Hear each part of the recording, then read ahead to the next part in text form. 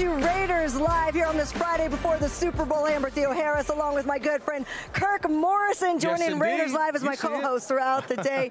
Uh, weren't we just together? We just did Pro Bowl yes, together, and now we are reunited. Yes. And it feels uh, so good. Uh, it feels good. It really does. I'm here. Um, yep, finding all my cameras, everything yeah. working. Yeah. Uh, this I is final day. Yeah, this is the final day of Radio Row right? This, this is, is this is Friday. You see people packing up. Yes, it's a little more hectic than the. Um, I would say Monday, Tuesday, it's more like everybody's kind of catching their footing. Mm-hmm. Then Wednesday, it starts to pick up. Everybody usually comes to the Super Bowl win. Thursday, Thursday Friday. Friday. Saturday, it really picks up. But today is like the last major day of Radio Row.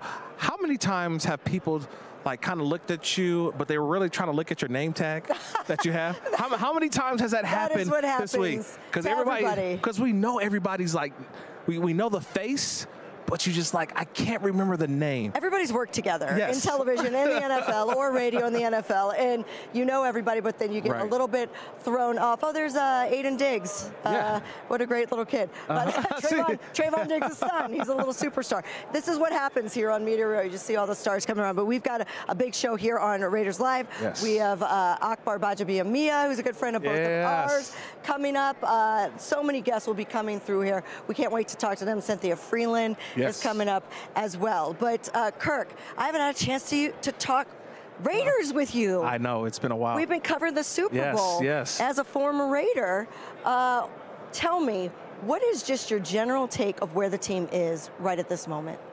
I think you have to be excited where the team is. Um, a lot has changed, right? Right. You're talking about offensive coordinators and position coaches. Um, I had a chance to talk to Antonio yesterday uh, NFL honors on the red carpet. And the one thing that you can say is that the guys are all in. Like, I've never seen a team that is so excited about their head coach. Mm-hmm. They spent time with him last year on the interim role. But this year, it's like you can just kind of get a sense that everyone's like, man, AP, AP. From the beginning to end, I'm excited for where this team can go. I'm excited for what AP is bringing. And I thought he said something really unique to me. He said that everyone's talking about Patrick Mahomes and the Chiefs. They're talking about Jim Harbaugh and Justin Herbert and the Chargers. And then Sean Payton and the Broncos. And, man, how are the Raiders going to deal with this division? And he said, how are those teams going to deal with us? That, that's and a that, that's mentality. a that's a mentality thing. And yeah. I said that really stuck with me because I really felt that no one ever talks about the Raiders, mm-hmm. and people got to deal with what they have. I said all along that I really, and I said it multiple times throughout this week, yeah. I do feel like the Raiders could be the Lions over the next two or three years. Uh, a former like coach that. that's gritty, yep. that says things that people are like, wait, Correct. what is he talking about? Isn't he a little premature? yeah. right. And that aggressiveness and biting kneecaps and everything that Dan Campbell talked about. And they went from a 3 1 team to an NFC appear- championship appearance within three years. I think the Raiders with the mentality of Antonio Pierce could become the team that nobody wants to run into at least next year. Right. You know, that's then that's going to be something to build on. Um, but the defense, you played defense I did, for the yeah. Raiders, linebacker, right? right, right, right. This defense completely changed. I mean, a 1-8, I've never seen Right. anything like it in the NFL. It, they were around 22, 23 overall, and then they go and they give up 16 points a game in the nine games that Antonio Pierce was here. What do you Right. credit that to? I just create. Uh, I credit it to, first of all, the defensive coordinator Patrick Graham and being patient. I think that when you talk about the Raiders in terms of year number two in the system, guys just trusted each other. We saw that trust. Guys were just running around and they were making plays. They weren't thinking as much, trying to make the right play. They were just trying to make the play. And I saw that. Max Crosby obviously is going to be Max, but I saw guys just play free this year. And that's the part that when I looked at it on film and year prior, year, the year prior, I thought guys were just trying to be in the right spot. Guys were just trying to make sure they didn't mess up. But this year, I saw guys cut it loose, and we saw some of those big plays. I thought of Meek Robertson. Remember, he had the big Yeah. interceptions. Jack Jones comes in as if he's been here every single year, right? For like for a long time. He just got here halfway, not even halfway, like three quarters of the season's almost Yeah, done. November. And he pops up. Malcolm Koonce, right, was called upon early, and he responded. So it was just so many individual performances that I saw this year that I think you really got excited about because guys were in a system that they believed, that they understood, and they just let, play with their hair on fire. You are entrenched uh, in that LA scene. I know uh, you live there. Uh, Yes. Jack Jones was a Correct. guy that came in and that came out of Long Beach. Uh, he was at Long Beach Poly, and that's where Antonio Pierce knew him from. Do you feel like we're going to see many more players like that? That that Antonio Pierce mentality that he's Right. going to identify. You're almost excited to see him put a roster Yeah. together after seeing what Jack Jones did for this team. Yeah, I I love the combination now of head coach Antonio Pierce teaming up with Tom Telesco as general manager. I think that for a lot of people who have seen Tom Telesco as a general manager, what he's did with the Chargers prior, they've drafted well. They've had some outstanding picks. Now, putting the whole team together and playing as one is one that you know Charger fans may get a say. "Oh, well, we never played together." Well, but I think he will bring that knowledge of talent. Mm-hmm. And they're going to take some flyers on guys. They're going to take some guys who may fit what the Raiders are about confidence, swagger. And Antonio Pierce, that's all he wants from his players. Mm-hmm. Be confident, be who you are. We'll coach you up. And we saw some players get coached up this year, and they started to play really, really well. Look at the players that Tom Telesco drafted in the first round Yeah. in his 11 years with the uh, the Los Angeles. Well, Char- yeah. it started the San Diego Diego Chargers, Chargers, and then yeah. the Los Angeles Chargers. Correct. I mean, you know, Derwin James, Justin Herbert. Um, you know, uh, he wasn't responsible for Keenan Allen, was he? I think that was right Right before him. before Maybe him. it might have been right before him, but Yeah, all- no, there they are, right Keenan, there. Denzel Perryman, Melvin Gordon. I mean, they they hit. On Yes. all of these draft picks, Mike Williams. I mean, we saw Joey Bosa. Asante Samuel. I mean, Joey Bosa is a dog. Asante, Asante Samuel, you know, go up against uh, uh, Davante Adams. Correct. You know, these are play. Rashawn Slater. Could you imagine going to get a Rashawn Slater in the draft? I mean, uh, that type of a lo- alignment. Yeah, he's got an eye for talent, and now you're excited that he's wearing your colors now. Right? He's part of your organization, so you you bring that along with you know Champ Kelly, who's his assistant. I think you've got a lot of minds that will come together and create one of the best rosters in the National Football League. Yes, there'll be question marks because there's going to be competition at some positions as well. You have to create competition in the National Football League. I think outside of wide receiver, there's going to be competition at running back. There's going to be competition at tight end. I think there's going to be competition along the offensive line. Defensively, uh, you may get more guys along the offensive. You think there'll be competition at, at tight end with Michael Mayer? Yeah, absolutely. I mean, there's always somebody to push, a veteran think to push you the got- young guy. Absolutely. I Yeah. mean, you- you're Austin still Hooper was there. Yeah, you- you're still going to have. I think the, the National Football League has really gone into two tight end sets now. We see That's it it, with the 49ers. Yes, Yeah. uh, you see it with the 49ers. You're going to see it obviously with the Chiefs. They do a lot of two tight end sets um, because you have one guy who's your primary blocker and one guy who's your primary pass catcher. But the more tight ends that you can have, it just creates more and more. I think opportunities for guys to or for defenses to have to match up. I think that's what we've seen in the playoffs for sure. I think when we look back over the next 10 years and we look back at really the one draft that, that Dave Ziegler had a chance to do, Michael Correct. Mayer will stick out as the one one of the players. I, I hope more. Tre Tucker could be one of them Right. as well. Tyree Wilson could be one of them. But Michael Mayer, if you asked me to put my money right now on one that would be a short shot player that's going to play for a long time in this league, uh, do you feel excited about year two because of the way that we saw Michael Mayer start to really develop? Right. Uh, I can remember that one pass AOC in the end zone where he goes up and Yeah. just takes the ball away. That's what he's going to be good at. That's where his bread and butter is Correct. in the red zone and just out manning other Yeah. other defensive backs. You know, I think just just a natural progression of the tight end position in the NFL.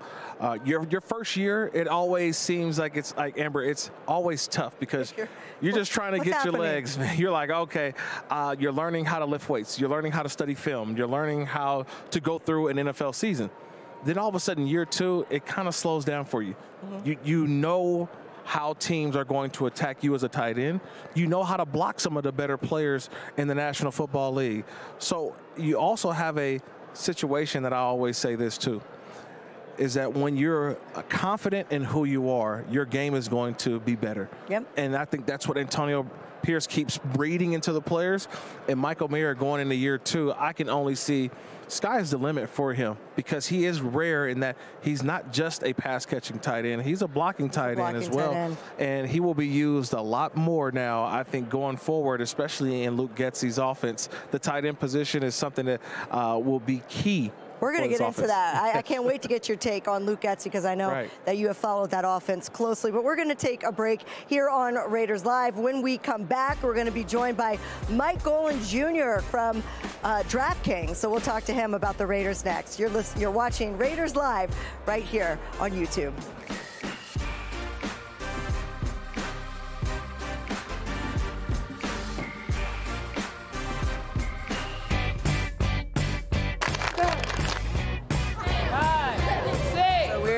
Raiders headquarters, and we're participating in the RUSH program, which stands for Raiders UNLV Sport and Health. We're here at the RUSH program, primarily promoting flag football amongst our youth, keeping our kids um, involved. They're learning about nutrition, learning about making great choices for fitness, as well as learning different skills to play flag football.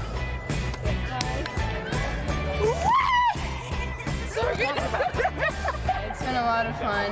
We've been able to do tons of drills, talked a lot about preparing ourselves before a game or something like that. Um, you know, we know that middle school girls struggle with body image and things like that, so it's really important to think about nutrition. What do they need to eat to be able to do sports like flag football, to be physically active and to be healthy? We are so grateful for um, the Raiders for having this for our students to come out, to just opening their facilities, a nice, beautiful facility. We, we, we are so grateful for them for giving the kids that opportunity.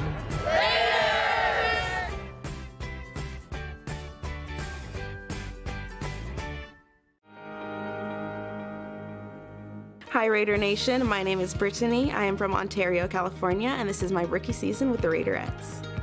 When I'm not cheering for the Raiderettes, I am finding new adventures, hanging out with my dog Leah, crafting anything and everything, and playing Sudoku.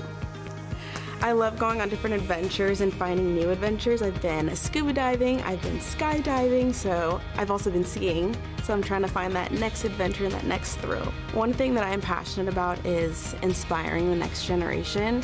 Being in this industry, being on this platform, you see younger um, younger dancers that look up to you. And so having that platform just to speak into their lives and just be a role model is extremely humbling. It's extremely important um, to inspire the next generation and raise them up to be amazing and even more amazing than you are.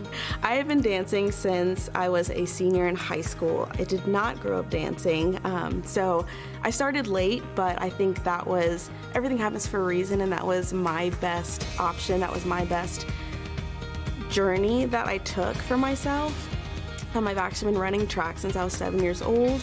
Both of my parents were professional athletes, so running track is in my blood. so I ran since I was seven years old all the way up until college. After college, I realized that I wanted to just pursue dancing wholeheartedly, and I did that. And I've been dancing for six years now. Thanks for watching, Raider Nation. Just win, baby.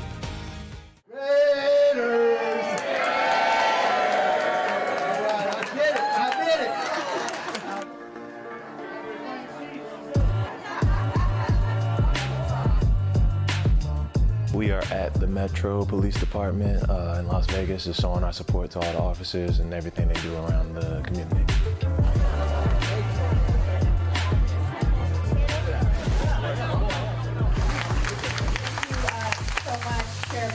For the, for the warm welcome.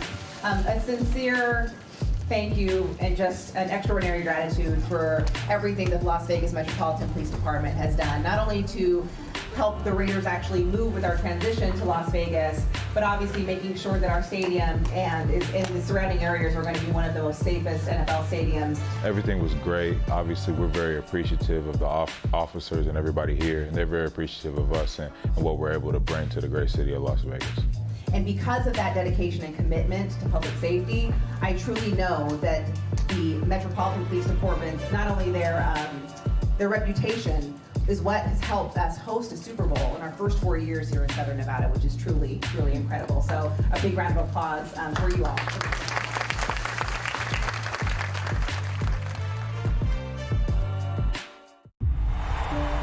Intercepted down the sideline. We told the state of Nevada, touchdown, that you're getting more than a football team. The highest point total in Raiders franchise history You're getting an army. You got to stay involved no matter what it is. We have a commitment to this community. And working in the community is the thing that we do the best. One night, one cause, one nation. Be there as we put the helmets down and our hands out in support of Nevada.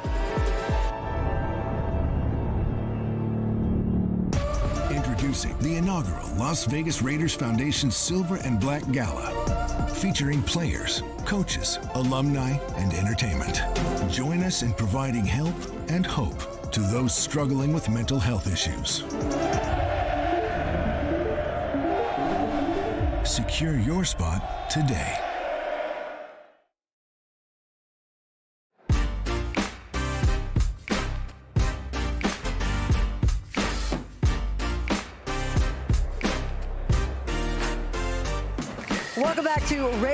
Live from the Super Bowl right here in Las Vegas, Nevada. A lot of guests coming through our set here on Raiders Live.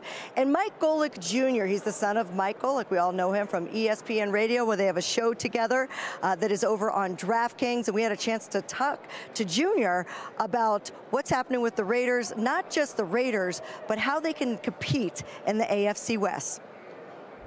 Joining us now on Raiders Live is Mike Golic Jr., just an all-around great dude, uh, one of the great analysts and, and talk radio hosts. You've got a podcast over at DraftKings with your dad, yeah, get to hang out with dad every day, try and keep him in line, all that stuff. The only problem is he, coming off the pandemic, decided to glow up, do the whole gray beard zaddy thing. Yeah. So now I got a lot of friends posting like thirst tweets about my dad. It's weird. and he lost a lot of weight. He's he looking did. great. He did. You know what? I love it. He's healthy. He's doing well. He just needs to dial it back a little bit on the public like being hot thing. Yeah.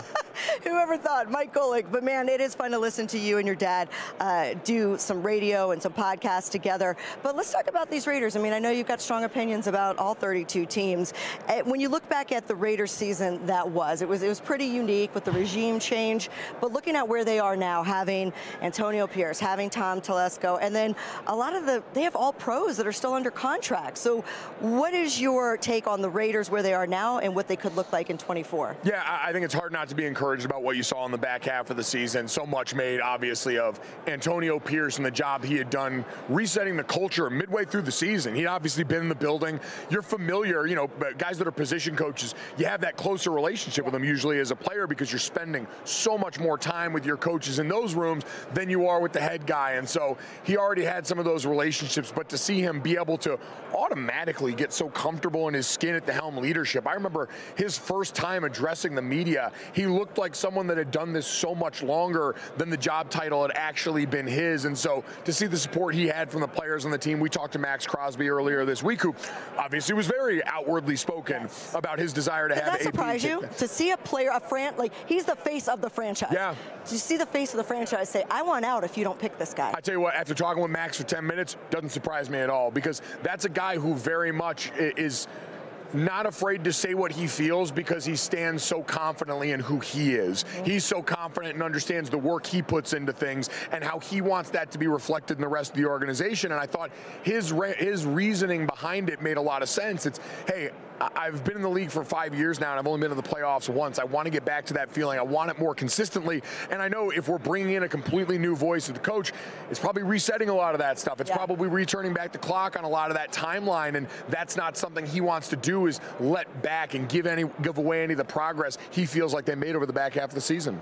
What was your take on him not even getting one vote for Defensive Player of the Year? That's baffling to me. Yeah, a little bit surprising, especially considering the back half of the season he had, just how deadly consistent he is as a player. And I think the thing that always sticks out for me, and it, it's the thing that gets talked about a lot with Max, is just the snap counts. Yes. D linemen do not play 98, 99% of the snaps the way that Max does consistently. It's such a different level of conditioning. It's a testament to his work ethic. And so uh, I'm surprised, but with his mindset, he wants to be the very best. He doesn't want to just be talked about. He doesn't want a couple votes for that. He wants to win the thing, and I think the way he attacks that process, that's going to happen sooner than later for him. Look, the AFC West is dominated by the Chiefs. They're here at the Super Bowl. It's a difficult division. That's who the Raiders will have to knock off if they want to get into the playoffs, get deep into the playoffs. In your opinion, what will it take for the Raiders to be in that position? Because they do have a lot of key pieces set, but I think the quarterback is the biggest question yeah, mark. I think it's going to be the biggest one. You know, Aidan O'Connell came in, and you know Jimmy Garoppolo, the situation there surrounding injury, and, and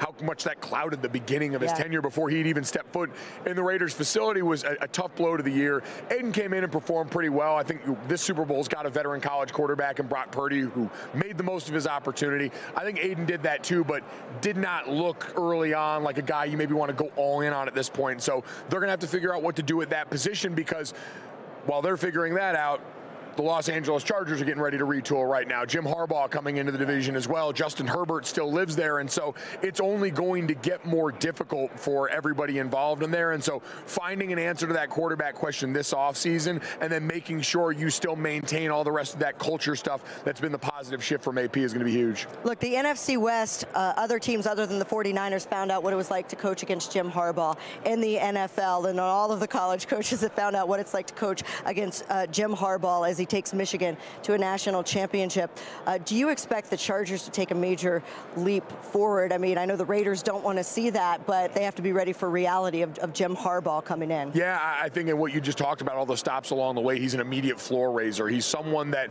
always comes in and sets the foundation along the lines of scrimmage in the place it needs to be to play successful football. And I think for so long, the Chargers, that's been an issue for them along the offensive lines. A lot of that tied to injury, but defensively under Brandon Staley, they always had trouble stopping the run. All those things are now that Jim Harbaugh's coming and bringing great assistance, right? Jesse Minter, his defensive coordinator from Michigan, who was in John uh, John Harbaugh's camp in the Baltimore Ravens for a long time, has so much of that NFL game to that Michigan defensive DNA. Him coming over, Greg Roman, these very veteran, trustworthy names that come in with that reputation automatically are going to get that thing going. I think pretty quickly. People forget Greg Roman uh, got hired there. I feel like that people aren't talking about that enough. What he did in Baltimore, and he had a unique situation. I have a quarterback, Lamar Jackson. I'm excited to see what Greg Roman does with a Justin Herbert. I think that could be really interesting. Um, but looking around the rest of the division, I feel like you can't sleep on Sean Payton either. I mean, you have these veteran coaches in the rest of the division, and it felt like Sean couldn't get his feet under him.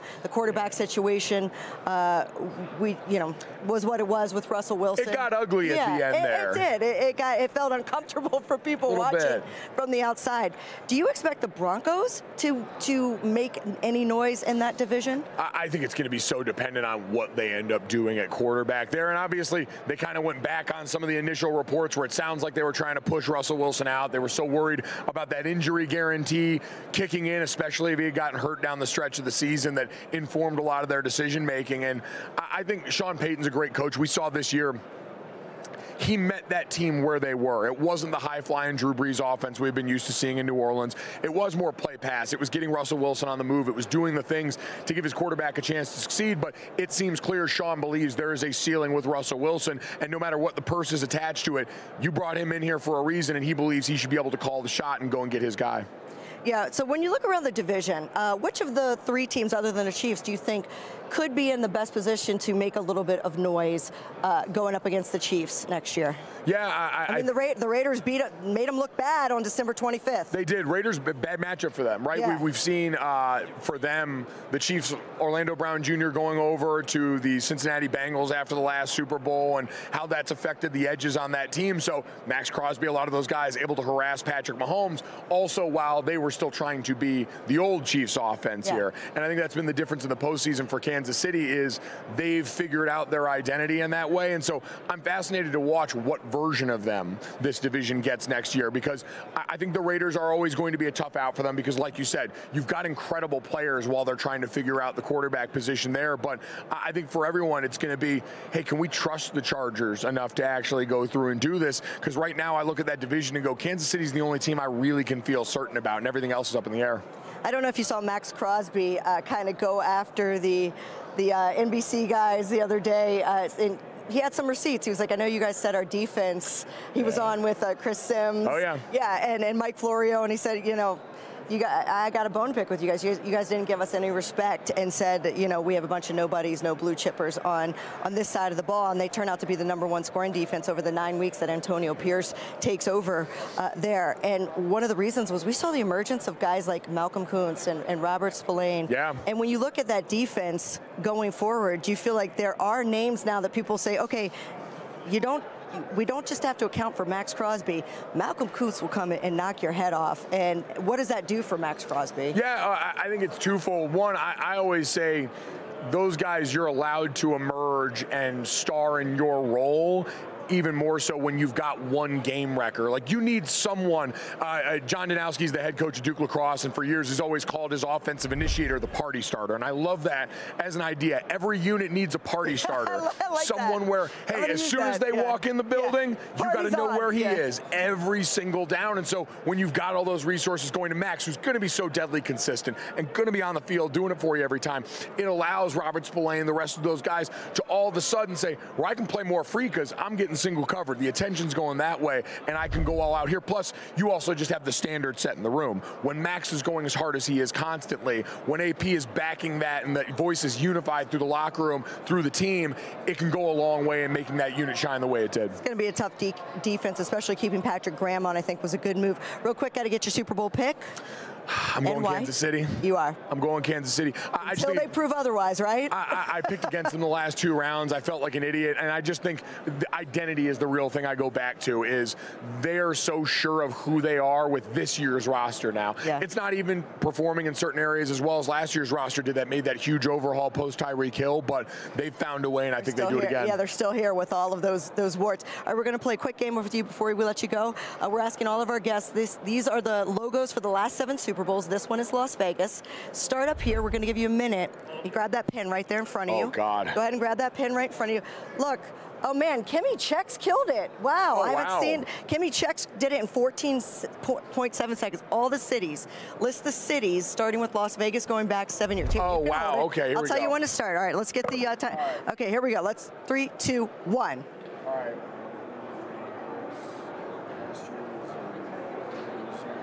Is every city, state? Yeah, it, it's fine. City, city, right. city, city. Um,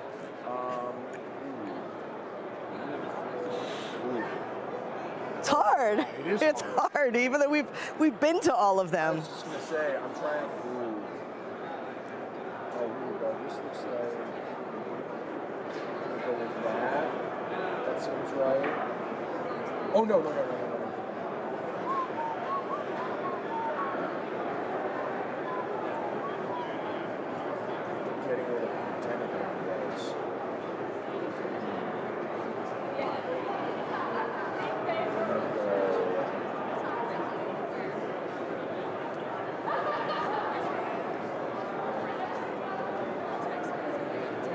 Okay. So how many seconds? Okay, you did it in a little under 50 seconds. Boy, Let's see. You just. butchered this. Uh, no, you did not. No, you did not. These first three are right. Obviously, the fourth one that was Tampa. Tampa. That was okay. Tampa, and then Miami. You got Minnesota, which is great.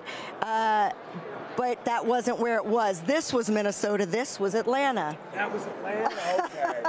There you go. Good job. Oh, my God. Mike Golic Jr., you can catch him at DraftKings. Uh, what else you got going on? Anything you got to plug? Yeah, no, uh, DraftKings uh, go, day? go Joe and Golic, uh, Monday through Friday, 8 to 10 a.m. Eastern on the DraftKings Network, Samsung TV Plus, Roku, all those great places. And uh, try and catch us. Me and Dad hang out, make everybody It's a great little. show. It is a great show, and I love both of you guys. You guys are so talented, and thanks for being here Absolutely. on Raiders Live. Thanks for having me.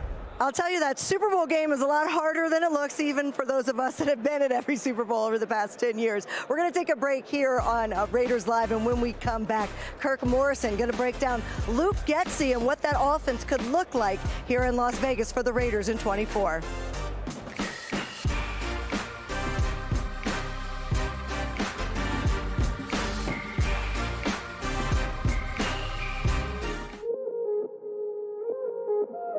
Raider Nation, my name is Kelsey. I'm from Dallas, Texas, and this is my rookie season with the Raiderettes. Um, I wanted to be a Raiderette, not only because of the leadership and how just involved they are within the team, but I had been in Dallas for a long time and I was a little too scared to travel outside my home state. Finally, I was just like, I got the courage to finally come out here and uh, see what Raider Nation was all about, and I'm just really pumped to be out here. The audition process for me was a little scary and a little intimidating intimidating, but I think that's what drives me is if you're not scared to do something, then it's not worth it. Um, I did come out of a five-year dance retirement for my professional dance career, so it, I was a little scared coming in, but I'm just really proud of myself again to be able to say that I've made another NFL professional dance team. Um, I'm really looking forward to getting to know the traditions of the team um, and to really dive deep within the Raiders community.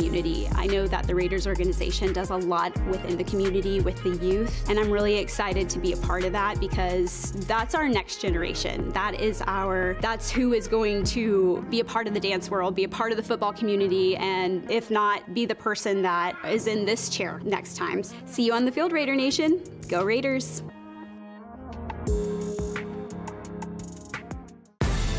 It is draft season, and with that, it's our pleasure now to welcome you to the Raiders NFL Draft Podcast. This is a very exciting time. We get a chance to join the nation, Raider Nation, talk a little bit about the draft. The Raiders very well positioned in terms of draft resources, draft capital. This will be a fascinating uh, watch as we get closer to the draft and kind of see how the Raiders put the pieces of the puzzle together. We've got a lot to cover here over the next eight weeks, and so excited to be here on this Raiders NFL Draft Podcast.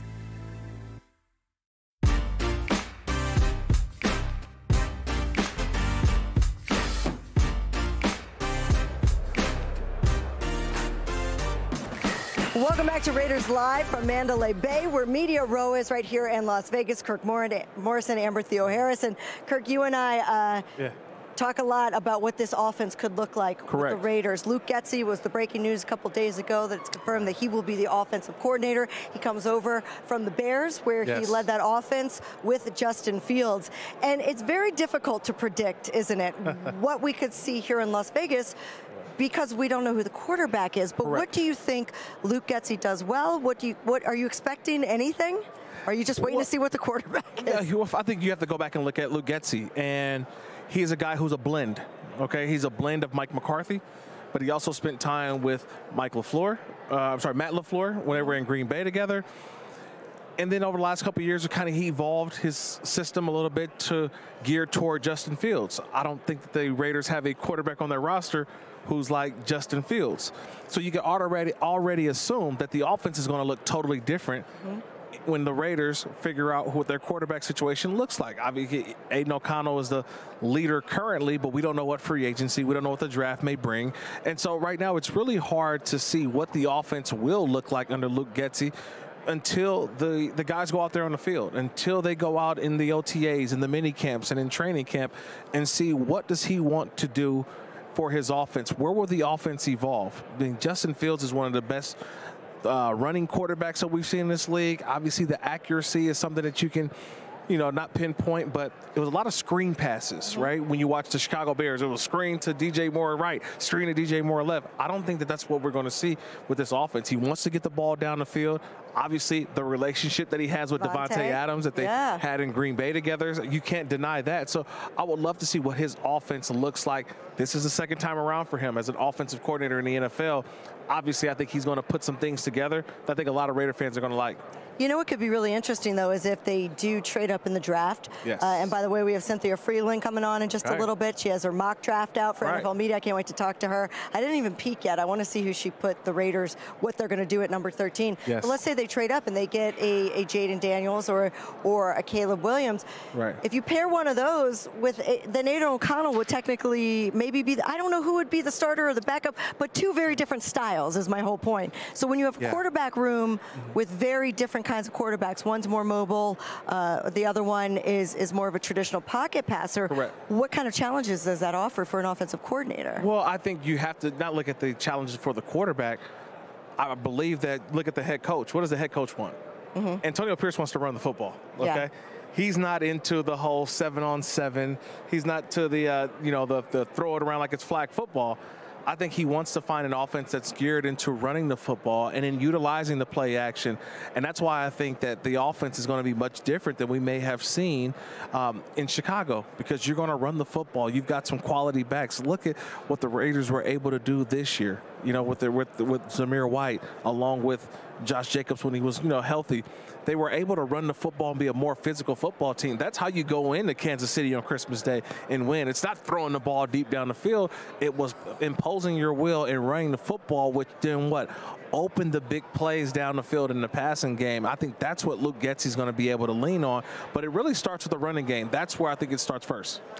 Josh Jacobs is going to be a question mark whether they sign him or not. He is a free agent. Correct. So, you know, you're looking at, and I know what he was asking for last year. He was asking for two years. Correct. That was what they were asking for, two years, pretty much saying, look, uh, you could tag us two years in a row and the number's going to be around 10 and then 12 million. So we want about 23, 24 guaranteed. And that didn't happen. Right. And so now they'll probably want a couple years as well, and it'll be around the same amount of money. But you also have Zamir White, Correct. who played very well at the very end.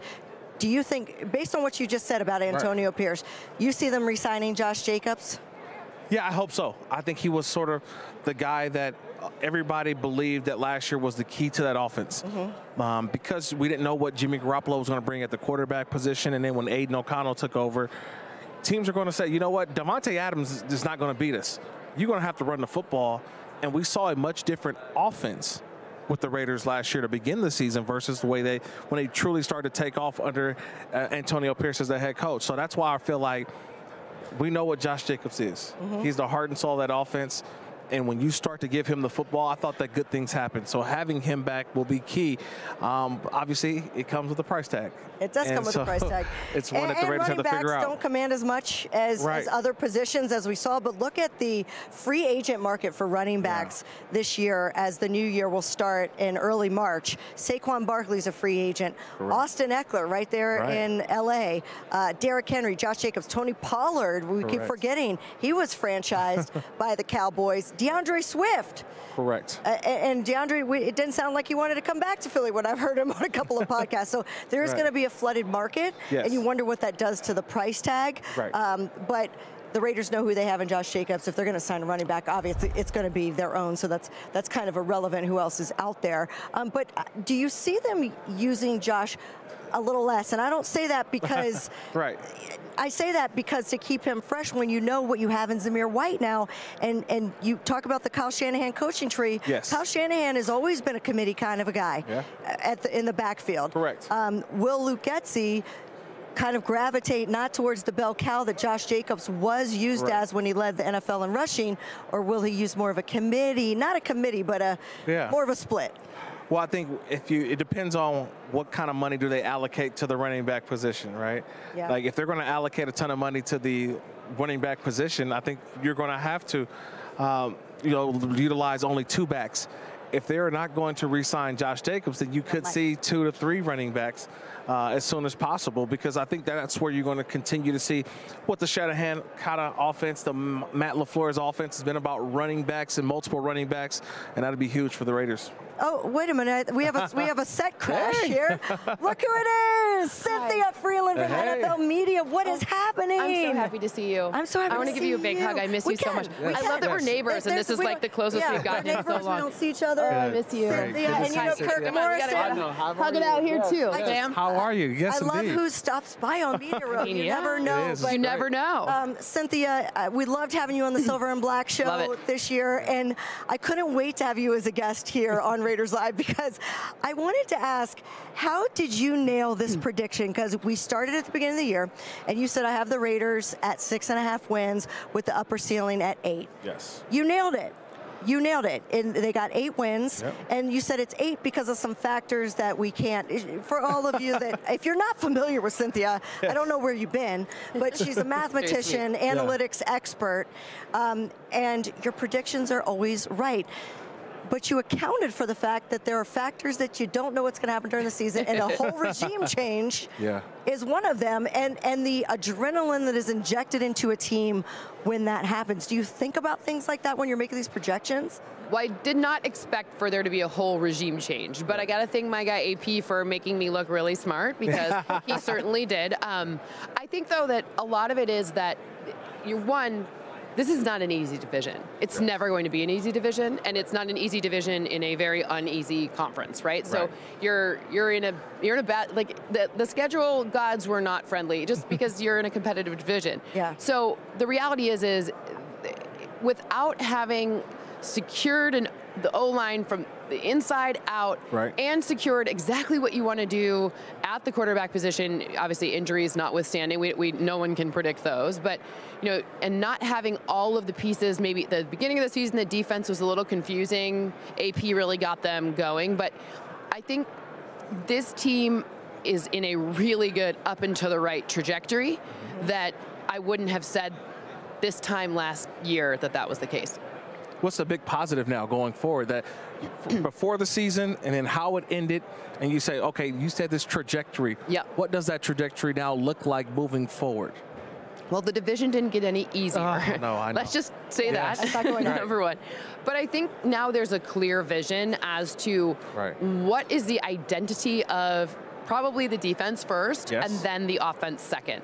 But having a clear identity and then being able to build around it with a really proven track record guy in Tom Telesco. So it's kind of this marriage of like an injection of new thought. And I, I say new with like a little bit of a weird look on my face because Antonio Pierce has been around for, For a long, long time, time, but right. be you know there are parts of being a coach that are like no fun, like like the, the like pure like nuts and bolts of like not so much fun, right? Right, I'm, right. You know that you'll have to get used to, but having a seasoned veteran GM Right. with a new injection of absolute everybody wants to play for. I, I would like to. I will run through a wall for him, and I should. I have no business running through anything, right? I think we would be a nice little linebacker I'd be it, a- though. The three of us. actually. Somebody told me the other day that obviously I the middle linebacker. Yes. Somebody no, somebody told me I'd be a, like a really nasty versatile safety, and I Versatile safety. Okay. Versatile safety. and Now, are you, was are you like, are, like are you down near the line of scrimmage? Are you free Sometimes. safety? Sometimes Doing I'm everywhere, baby. Oh, I'm okay. Budda Baker. Budda Baker. Baker. Yeah, yeah, no, but they told me that I was like, that is the best best compliment compliment. I've ever Yes. gotten. I've now, Okay. now I want to be told I'm a versatile safety. Uh, That's funny. I, I always like to ask you about numbers um, Right. because I'm a dork. You're a dork. Um, We're dorks. It's we're good. dorks. We're dorks. We That's are. We're number Nerds. nerds, Okay. and that's and, and you don't know It's a good Kurt. You don't know probably Okay. don't know him too well. He's a dork too. So, what does the data show you? In the past, about teams that were on a winning upswing at the end of the season, how often that continues into a successful season the year after that? Like, how much does the end of one season affect the season that comes after that? Well, the, I, I'm making this face because I'm kind of like, it would really help if that trajectory was coming from the quarterback position because it is the A number one most valuable position in Great any point. sport. Mm-hmm. So while I think that it's a really good sign for the future, it will be about the offseason moves. It will be about free agency. It will be about the draft. It will be about and and maybe even if we don't like it, as long as they like it, right? Like as long as they're getting the pieces that they want, okay. But I think what you're what you saw in the end of this past season was the ability for I'm not going to pretend. Okay, Maxx Crosby is absolutely elite, but there are other pieces on the defense that are more confusing. Correct. Maybe, maybe not. as- I mean, Maxx, we got it. Like, do Right. not. But, but there, it wasn't the most. The defense wasn't. You didn't look at it and be like, "This is the Yeah. scariest defense." And they On were paper, winning. it was as- not this. No, Yes, and on on, and they were working together because they had the right scheme fit and they understood the assignment. Ooh, so there you go. that's the that's the difference here. Now, will everyone do that? You just need to start with a quarterback. Though. Like it will all be in that. I, I hate to be so, but it, I think we agree. Yeah, we It's, agree. It'll all be in that quarterback decision. Uh, I know. I'm sorry to jump in. Go ahead. No, you go ahead. Uh, I know that you put out on NFL Media your very first mock draft. Yep. Uh, do you have the Raiders taking a quarterback at 13? Do you have them moving up? What? Do you, okay, tell. Well, okay, Do so tell. two Check things. it out on NFL.com, right? Yeah. 13. Because I, I want to hear this because the, I looked at the teams who may be ahead. Yep. There's some who already got their quarterback. Yep. And then there's some who could be in the market for a quarterback. Yep. So the Raiders standing pat at 13, I don't know they get the quarterback that Wait, they want. did want. they stand pat in I, your I'm draft? not allowed to. tr- I'm not allowed to. Tra- that was Okay. gonna say, That you there's some there's some yes. rules Yes. for my fake draft. My fake draft. Fake draft. number one is Yeah. no trades because Okay. if, if I were allowed to do that, my editor would pull all of his hair out because I would probably tra- trade every pick. like he would, he would kill me. So that's number one. And number two, we start it right now Yes. ahead of anything with free agency even starting no info from the combine yet Right. etc to watch then track the change over time so in my draft i don't have the bears picking caleb williams who right now is the absolute favorite to be the first pick and i understand why Right. but the but I, as of right now if you were to look at what gets the bears the most wins it's a left tackle. So yes. let's. Uh, the people get really mad at me, but we make some rules. The, Correct. I, Yeah. We make some rules, right? Like, and that's what we abide by. But I actually have number six on on this list. To Uh-huh. me, that's Mel Kiper. Me and Mel disagree. Correct. I have Bo Nix at number three, and Yeah. he's who I have the Raiders taking, the most accurate quarterback in this draft. 77.4 completion percentage at Oregon. Sure, I get it. He threw a lot of underneath stuff. Right. Understood. That's what the, that's what he was asked to do.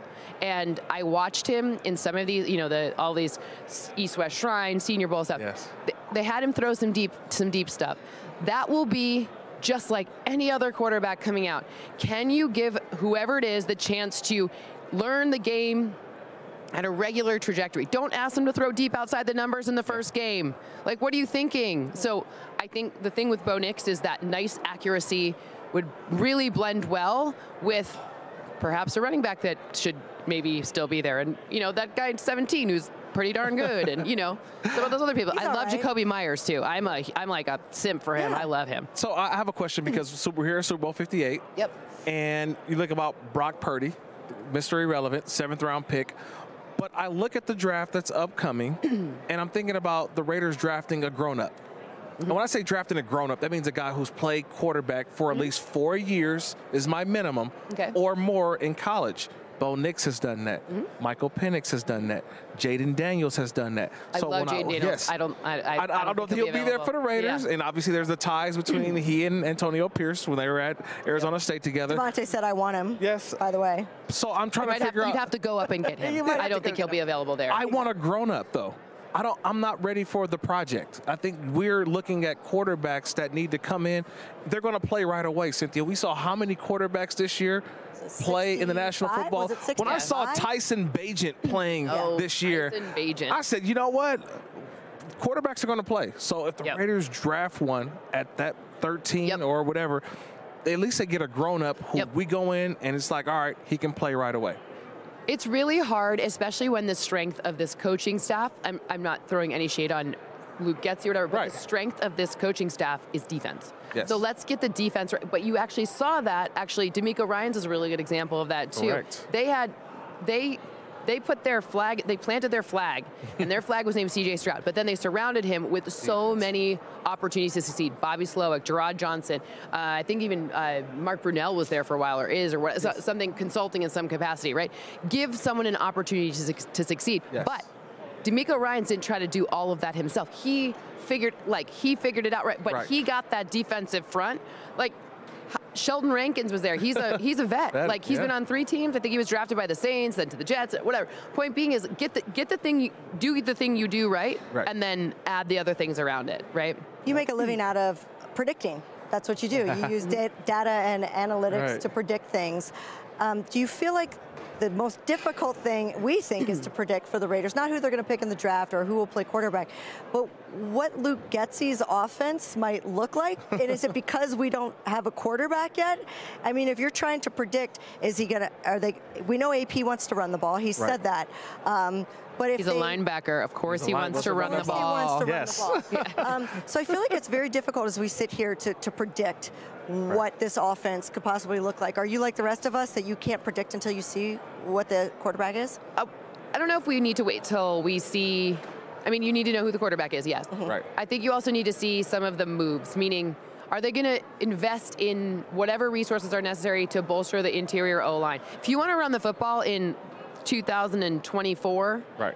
probably need the middle to look a little better than it currently does because outside zone running isn't working as well. We've seen even Kyle Shanahan now running the A gap. Right. Mhm. That's like old school football. Yeah. Give me some ISO, baby. ISO, Yeah. Right. So, but it, but it's like, are you going to do the things that actually allow you to run, or are you going to? I mean, if you would like to That's have a great point, Cynthia. Like, Right, look like- to see what they do with the offensive line. I- Yeah. do they sign Josh Jacobs back? Right. You know, there, there's a lot of questions that Right. could tell you what their priority is as far Absolutely. as I running mean, the football. and building around Davante Adams is a really smart strategy. yeah. So you know, make sure 17's happy. yeah, that's a great place to start. Uh, who do we lean on in this Super Bowl matchup, though? Steve Spagnuolo, the defensive coordinator for the Kansas City Chiefs, or Steve Wilks? It's the battle of the Steves. No one's talking about the battle of the Steves. I'm bringing it all about like the battle. Steve on Steve. It's Well, Steve you know, Steve. you know what happened 15 years ago one years ago. giant win over a win, a fully Yeah, undefeated 2011. Patriots Yeah, I team. remember that. David Tyree catch. You know who that Yeah. defensive coordinator Yeah. was? Guy who didn't draft me. Steve Yeah, Spagnuolo. should have drafted me, Steve, but I wouldn't have been a Raider, so I, I take it back. Yeah, no, it all happens how it's Happens supposed right. It all worked out. Correct. But but look, like I think the way that Steve Spagnuolo has been able to adapt over time, and Yes. even without Charles Omenihu, I just think that there are some tricks that he has up his sleeve. Like you were talking about me being a nasty safety. Well, Trent McDuffie, he Yes, gets nasty. pressure on quarterbacks out of the sl- like Out as a slot. slot. Mm-hmm. By the way. Five years ago, if you would have called someone a slot corner, they would have slapped you. Yeah. Okay, they wouldn't have slapped you, but you know they Yeah. would have been like, "Oh, that's like so that. offensive." Correct. I'm so offended. I'm a That's- that's slot not the corner. case anymore. No, now you need a nasty slot corner. Like it, The slot corner is actually a starter now. it Yeah. you need it. You need well, and it's all college. They're playing three three five now. Exactly. So what what in, what on earth is a three three five? Like we're gonna have to talk about this. Like, We can talk about it. I can tell you. We, can- I'll break We'll it break down it for you. it, it's because you know why? Hybrid because in college, you get pat on the back as a defensive coordinator if you only allow 34 points. Hey, Yes. 34 points, you are great. Good job. We scored Good 37. job. Yeah. You, you get pay raises for how many punts eh, that you're able to force an offense. like, here's a it's not about turnovers. Like, oh, they create turnovers. No, they had eight punts Yeah. today. Job Yeah. well done. But, it, but it's you got to remember that's who's coming out in the draft, and Yes. that's what they know. And it, resumes are what they are. If you have a lot of experience doing something, you're more comfortable doing it, and that's how we build for the future. So, Yeah. you know, it, it's to me that versatility and that defense. It's weird to be like, why will the Chiefs win? Their defense, like, No. they've got 15 and defense and Yeah. 87, It's 15, fun. 87 and defense. That's it. We want to play a game with you, and I know my Let's producer's going to kill me for asking you one more question, but I have Fine. to. Are the days, and Warren Sapp sat here and said, the days of running the football on defense and thinking you're going to win that way are dead. You need your $100 million quarterback that can win that thing for you. Of what course does the Sapp data was show? gonna say that. Of course Sapp was going to say that. You know why? Because he, all he wanted to do. Uh, Yeah. Listen, of course he's going to say that. Yeah, yeah. Yes. So are the day? Uh, uh, can you win with being a run first team? Can you win a Super Bowl being a run first team in the NFL? Okay. And with your defense and and and running the football and Yes. not having a Patrick Mahomes type, a good quarterback. 100%. The problem is, is you have to be able to get a few chunk plays. So if you run on first and second down and you're in third and three, that is way better. Correct. Then you can get that 15 yard gain because the defense will know if you're going to run or pass on third down. You can't be like, I'm running, I'm running, and then like inexplicably on third and 10, run the football, No. which does happen. It doesn't sound like it should happen, but it does. Yeah, So unfortunate. you can't just be a run only team. You have to figure out. You, you have, to to, do it. to Like, get the chunk it's plays literally still. Bill Walsh because Bill Walsh is actually a Shanahan. Like a Shanahan's are Walshes, right? Uh-huh. What are you doing on first down? And Bill Walsh, if you read all this stuff, it's like, what is first down? Yep. If you're getting the, nuff, the numbers on first down, it leads you to better third down, et cetera, et cetera, et cetera. It all rolls Staying down on there. schedule. All right, uh, we're going to play a little game with you, but first let's see the people that you uh, are competing against. Yes. Uh, every, I need to everybody move, that has 'cause I come wanna through play us this on game. Kimmy Ooh, Chex is in the lead. Yes. She got seven out of seven correct in just 14 seconds. So we're going to give you one minute long- to oh fill my out this board. Why don't you, you know, we need You know, somebody to should I switch? I- recess. I'm gonna get your- leave. I'm gonna her that- leave. give her that marker. Yeah, right I'm gonna give you the marker, Cynthia. I'm Well, gonna leave why the are set my for a second. coworkers so good at this? I, I want to play this game. maybe Kirk- the thing about it is, I know how good I am at it because I am a nerd He's like really excited to play I'm really this game, excited. I don't want to see your answers. right, I'm going to give you this board, Cynthia. Yep. And I'm not going to look at it. uh, you might have to close your ears too, though. Okay, you know what? Okay. What can, what can I do? Because I want to do this next. Do I just leave the set right quick? I'm leaving. leave. I'm You leaving can- the set. Look, I'm out. gonna leave. I'm out. You're I'll just be. gonna I'm, I'm out. See y'all. And I'll be There you here. go. Come sit next to me, Cynthia. All right, we're the, we have a two shot now. All right, Las Vegas is the first. So these are the logos. I'm going to give you a minute. Las Vegas, you list the city. Oh, which that city it we're in. was in. Yeah. All right. One of them. Okay, ready? Ready? Here we go. In three, two, one. Uh, last year was oh Phoenix, whatever. This one was L.A. This one was Tampa Bay. Uh, oh wait, 54. That was Miami. Am I backwards here? L.I.V. Uh, Tampa Bay. Um, uh, this one is Miami. Uh, this You're doing is- good. You're doing good. Um, um, there's two more. There's two more. Uh, Uh, Minnesota. And then what was before Minnesota? Um, um, um, um, I went to it. That's, I was there with you. I have pictures with you there. it's not Houston. No, it's uh, this I is. can't uh, tell you. I can't tell you. Okay, we're done. Let's see. Could be wrong. Let's see. It's amazing because I've, I've been to these places. Oh my gosh, you're so close. You got six out. You got six right. Do you know what you did wrong? You flip flapped Atlanta and Minnesota. Oh. It was okay. Atlanta in 2019, Minnesota Okay. in 2018. At least I got the right cities. job. Hey, I was at these. I'm 44 seconds. crazy. We were all at these, and, and that I, I, I want to see how Kirk does because like people that have been there and we all have pictures of each other there Yeah. haven't gotten it right. So don't don't feel bad. Um, you did great. Hey Cynthia, You said it better I than Michael more. Jr.. I feel like super smart after I hang out with you. So thanks. I always, I just feel super happy every time I hang out with I you. know. You're So we're going to see each other uh, after At home. Sure. Now that we actually have time. we're going to Time. And Kirk's invited as well, but we'll Yes. bring him back in. Come on. All right. We're going to take a break here on Raiders Live. Thanks for being with us. Check her out, NFL Media, all week long, all of her analysis. We'll see you soon. We'll take a break on Raiders Live. We'll be back in just a minute.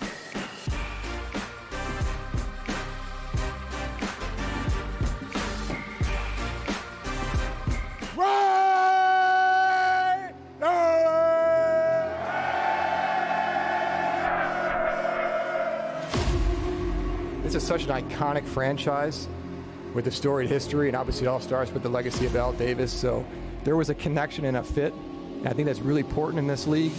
There's a lot of people that we affect by wins and losses. We understand that, we don't take it lightly. Hey, hey, hey, like we talked about it, man. Blank sheet, new chapter, we writing our own script. But we believe. Think about what I said. I will, we will, I believe, we believe. God damn it, this is what the hell we do. Raider Nation. That bad boy good. That bad boy ready to rock. When you talk about the, the Raider way or the, the Raider tenets of commitment to excellence, just win, baby, once a Raider, always a Raider. But when you walk in this building, I mean, you can feel it. We're talking about doing it for one another, playing for one another, playing the game the right way. Biggest window? The front window. And guess what? Every fing door we go into, we're kicking that in from now on. With all the doubters, with all the stuff they've been talking about, no matter. It's okay. We don't want to be liked. We want to be respected. We don't want to be like, We want to be respected. And we've earned our respect. First of all, suited and booted, you're looking good. You're handling business. We've already gone through two surgeries on the off season. How are you feeling right now leading up to this night? Uh, feeling incredible. You know, uh, the first couple first couple weeks were tough. I couldn't move much, but um, last three weeks I've been rehabbing, working out, doing my thing, improvising. But I got the best team in the world with the Raiders. Uh, they're, they're working with me every day, so I'm feeling great. Let's talk about this for a second. Defensive Player of the Year. These are multiple nominations tonight here. Defensive Player of the Year, Walter Payton, NFL Man of the Year, and the Art Rooney Sportsmanship Award. I was talking to Myles Garrett earlier, asking about you and the relationship that you guys have, and also across the league. I feel like you really resonate with a lot of the players. You got that Kobe mentality. Shout out to that. They just unveiled his statue tonight as well in Los Angeles. What are what are the emotions that you have knowing that young boy who started in football and where you're at right now? Um, honestly, it's, it's the biggest blessing in the world. Uh, everything that's transpired over the last five years um, has all happened for a reason, and um, I know it, I trust it, and it all starts with the work. Um, that's it. You know, everybody's got talent, everyone's got dreams and aspirations, but it's about the footwork, about doing the action every single day. I've been doing, you know, just for example, like this week is, I've been busy, locked in. I got a million things I got to do, but the work comes first. I'm up, I'm up at 5:20 this morning. I got the Raiders strength coaches, my rehab guy at the crib, and I'm working out 6:30 in the morning, getting to it for two hours. Like, that's what it takes to be here. It's 365 meals, uh, recovery, literally everything. So um, that's why I'm here today. It's simply because I'm relentless at what I do and what I love. And um, this is only the beginning. The chip on my shoulder is only growing bigger. Um, I want to be the greatest to do it, and it's uh, as simple as that. Something that I've noticed too, again, I, I'm from the Bay, and I will say this till the day I die. I've been a Raider fan since the beginning, you know, silver and black. You've been there in Oakland as well. When you see what AP's done, the uh, the way that you guys all come together, and he's walking, I'm sure, shortly out here. I was with Sandra earlier. The way this team and this organization has come together to not let anything get in the way of what's happened, the bumps in the road. What is so special about Raider Nation? What is so special about the organization? And why do you feel like you fit here? I mean, it's the greatest fan base in the world. Um, simple and plain. No matter where you go, if you see a Raider fan, they're screaming Raiders through any building. No matter if you're in a church, they're screaming Raiders. Um, I mean, they showed me love since day one. Um, I got it tatted, you know, the shield tatted on me before I ever played a snap. Um, I, I feel like I was born to be a Raider. I love this organization. I love everybody involved, and we just want to win. That's all that matters. I want people around me that are aligned with greatness and want to get a fourth Super Bowl here. And I feel like AP is exactly he embodies everything that, that comes with being a Raider. So, you know, every time, you know, being a leader, sometimes you do things that, you know, other people might not agree with. And um, you might take some heat, but that's what being a leader is. I'm willing to stand in the fire uh, for people I believe in, and uh, I'll do it every single time, and I'll do it again. What's the biggest lesson that you have learned about yourself? Is there one standout moment, trials and tribulations, everything you've been through, being a new dad, being married, being a father, you know, just the whole thing in life. But what have you learned about yourself in the last few years?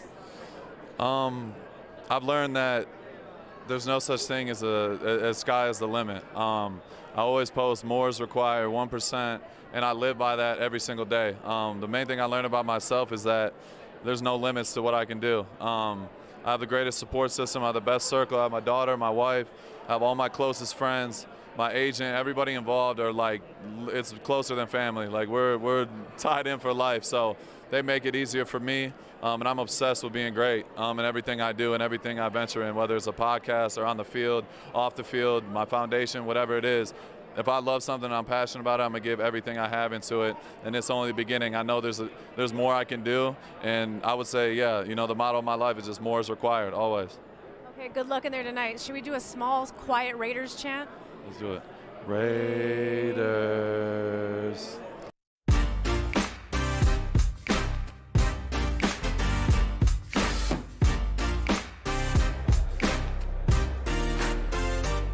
Welcome back to Raiders Live from Media Row at the Super Bowl. All the former Raiders are swinging through the set here, and one of my favorites, Akbar Gbajabiamila, stopped by. He's a former defensive end for the Raiders, but you can catch him on some very big network shows lately.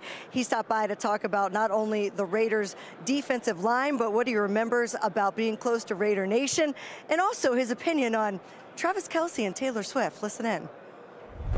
Joined now by former Raider, one of my good friends. You can catch him on Ninja Warrior. Yep. You can also catch him every day on The Talk on CBS. Akbar Gbajabiamila, it's good to see you. Thank you so much, Amber. I yeah. mean, I mean, you are a superstar. Uh, well, you know, thank you so much. Uh, it, it, it, has been kind of a whirlwind, you know, with all the different beats that are happening, but uh, I am truly humbled, you know, to be, you know, you think about where these things started from. If it was never for the silver and black that gave me an opportunity to showcase my football skill, I don't have the platform to transition into broadcasting. So, uh, but it's been pretty fun and how close do you stay to the Raiders organization? Oh. I know, oh. I mean, I don't want to act like, you know, I don't want to put out how big time yeah. you are, but you did invite me a couple years ago. You're like, oh, you're going to the Raiders game. Yeah. Do you want to come on my plane? I was like, you have, we're going on a, like your plane?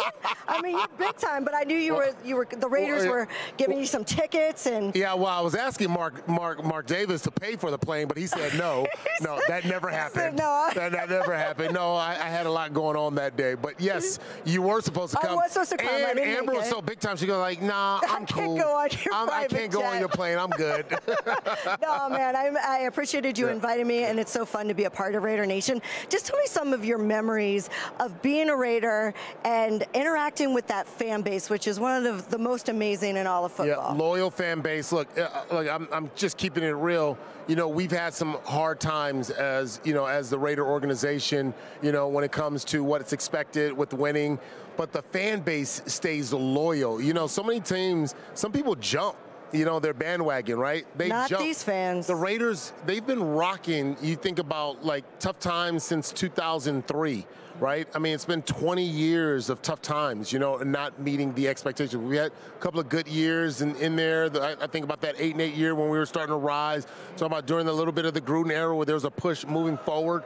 Um, but they they are loyal, and that's the type of fan base you need because I don't ever judge a fan base by good times. I judge them by the tough times. times. And yeah. so it runs deep. That silver and black runs deep. It does for sure, and I know that they love you, Akbar, and everybody's proud of your success. Um, let's talk a little bit about the season that was for the Raiders. Are you excited? There's so much hope around yep. Raider Nation right now. Are you excited about the new coach and Antonio Pierce? Yeah. I mean, you're a former player. Do you love the idea of a former player yeah. getting uh, an opportunity? I do. I love the idea of getting an opportunity. I feel like Antonio Pierce is the right pedigree. He ain't old. Sorry, AP. I, I did kind of call call you old, but he ain't that old. but he's not that young. He really does fit right in the middle because he's relatable. You know, um, and again, this is not a knock to AP, but I think when I look at him and I think about the new the new age players. It used to be they value the experience. Oh, he's been in the league for 25 years coaching, and that's what players looked up to. Now the players seem to look and quantify respect to relatability. And you couldn't find a more competent and a more deserving and a more relatable coach than Coach Antonio Pierce. He's got a, a, a certain thing and an energy that he brings that the players connected to, and we saw that, right? Mm-hmm. Um, obviously, you know, a great defensive player during his time, and again, it wasn't that long ago that he no. played, and so I think players. I covered him. Yeah, right, right, myself. right, right. Yeah. So, so he he understands that, and he understands what it means to have a winning culture, having a Super Bowl, understanding that. Mm-hmm. Uh, and I think the other thing too, he has the ability to really help some of these defensive players that they have on there. Maxx Crosby, as great as he is, can still pick up some things from Antonio Pierce. A Divine Deablo, I think that kid could be the future of the Raiders. And I think who better than Antonio Pierce to give him some of the nuances of the game and teach him that and allow him to continue to to, to grow into who he is. Uh, and then, you know, we look at, you know, Aidan O'Connell, you know, he, he was uh, the kind of the, the, the engine that could, you yeah. know what I mean? And like a lot of people didn't know, but I think there's some development there. I think some areas that we need to address as well, too. Yeah. Um, some help for Davante Adams as well. We need to see some more standout in that situation. Running back situation to be solid with me, you know, um, with, with Josh Jacobs. If they so, bring him back, that's yeah, a decision. Yeah, yeah, yeah, that to, is a decision. I'm over there speaking like I'm a general manager. you know, AP, if you want, you got, well, you guys already have it. You already put him back you, on the you, roster. You already, you already put it. If you need an assistant general manager, you know, I could. I wouldn't doubt that you could do that. Uh, I would, knowing you. You know, no, no, like, I'm going to go be a GM. Yeah, let, let, let, let, me pump the brakes. I, I would, though, if I were to go back into it, I would do D-line coaching. Really? I yeah. love, I love that. I had a a D-line academy at one point. I coached D-line in high school. Fell in love with teaching the guys and really getting into it. You know, it's crazy. You know, I didn't have a wildly successful football career, but it seems like the, some of the better coaches are the ones who still have a chip on their shoulder that they didn't get. You know what I mean? Yeah. Like I think of Phil Jackson, right? You know, like dang, you're, you're going to be the Phil Jackson of defensive line coaches. Yeah, right. What do you think of the Raiders' defensive line other than Maxx Crosby? I mean, Malcolm Koonce, you know, number 51, he was a guy that just came along. Um, there are some free agents, but there's Bilal Nichols is going to be a free yep. agent. Uh, Adam Butler is going to be a free yep. agent. But the I feel like the defensive line play yep. of the Raiders changed dramatically from early on until those last it nine weeks. It was a mentality. Weeks. It was that last mid, midway through the season, it was a mentality shift because you don't make it to the league. Period. I don't care across the league. You look across. It doesn't matter. You know the the the the mentality is what matters the most, right? Because everybody has a certain level of equal talent base to play in the league, right?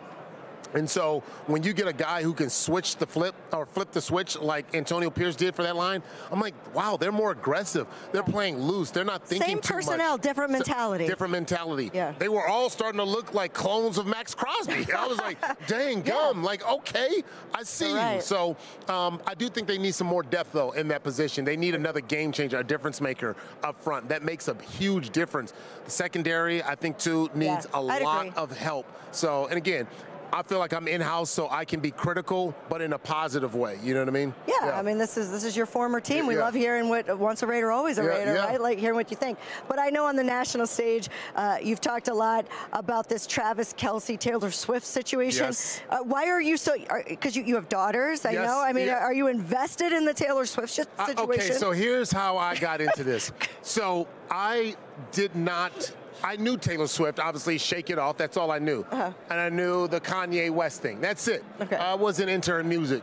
But then she comes to LA to the you know to the arena, uh, uh, whatever the yeah. SoFi Stadium. Crypto. Oh yeah, oh, SoFi was Stadium. SoFi. You're right. Yeah, SoFi at Stadium. And my daughter's going crazy. We got to see Taylor. So we got to see Taylor. Okay, all right, all right. I go, and I go, and I'm going. Oh my goodness.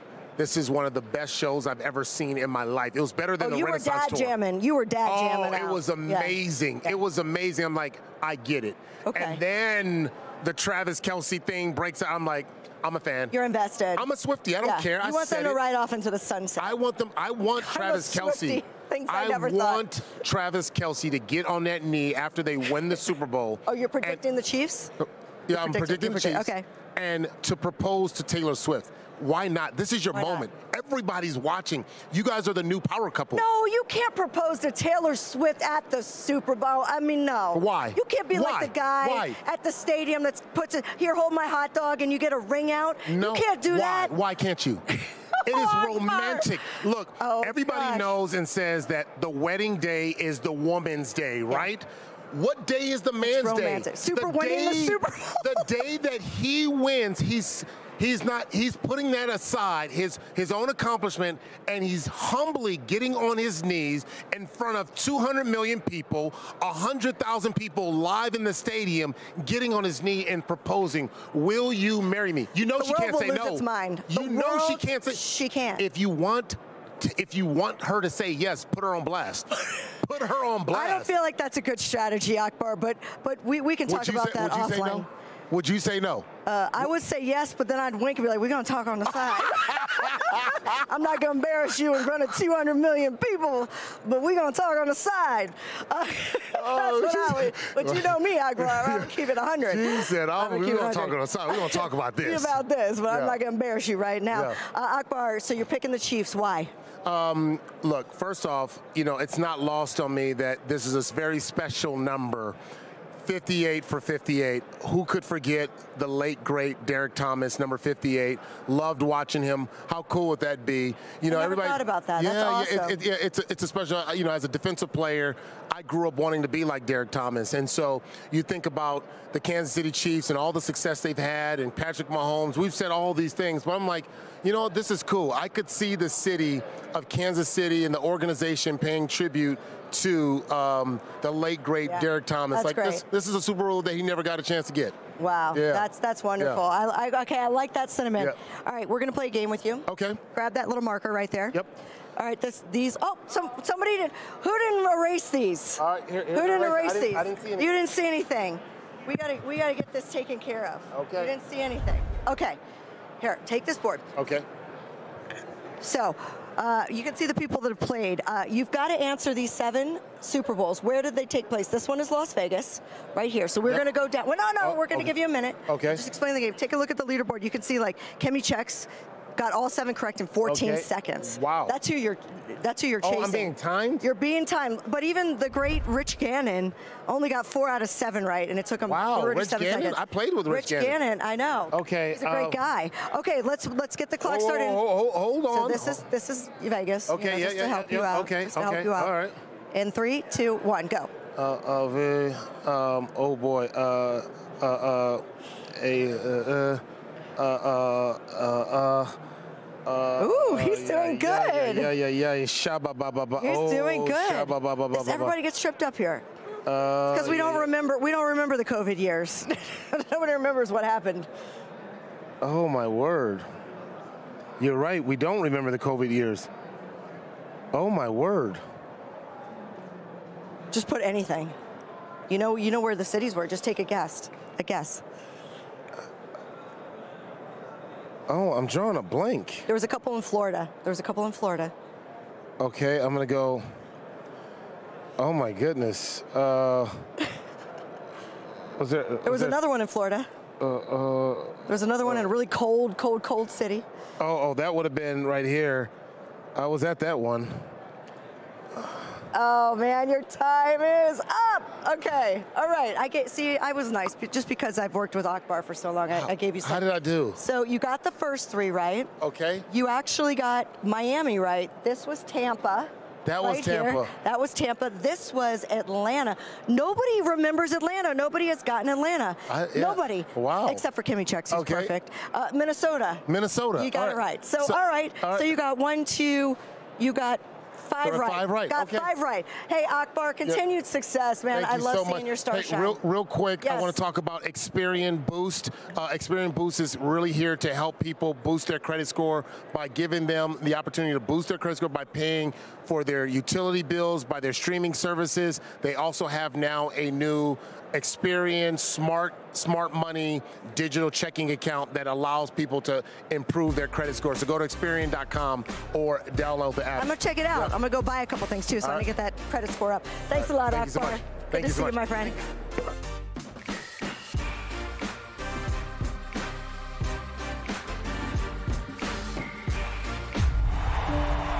Intercepted down the sideline. We told the state of Nevada Touchdown. that you're getting more than a football team. The highest point total in Raiders franchise history.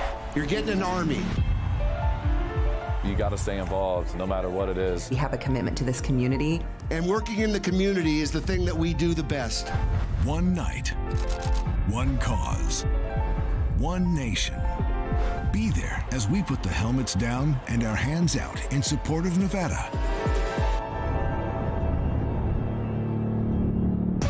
Introducing the inaugural Las Vegas Raiders Foundation Silver and Black Gala, featuring players, coaches, alumni, and entertainment. Join us in providing help and hope to those struggling with mental health issues. Secure your spot today. What's it feel like here, NFL honors, someone who's played in the league, someone who's done what you've already done, but continues to grow and learn as a man? What has that process been for you? It's beautiful. I mean, I, I, everything in my life has been stepping stone. I don't cheat the process. I've gone really the hardest route you can go to get to this this point. Uh, it hasn't been pretty at times, but more importantly, I stay true to myself, and I think that's what I really believe in. I mean, I'm about my core values. I push that on others. I do everything with a smile. I'm happy. I love what I do.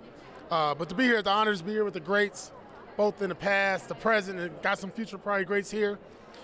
And then when you're a former player and you're around it, you, it's, it's that feeling that you miss being in the locker room. Like that, that's why I came back to coaching. I want to be around the boys. You know what I mean? I want to hear it. I want to see it. I want to smell it. I love that part of the game. You remember that very first moment that you put on your jersey and hit that field?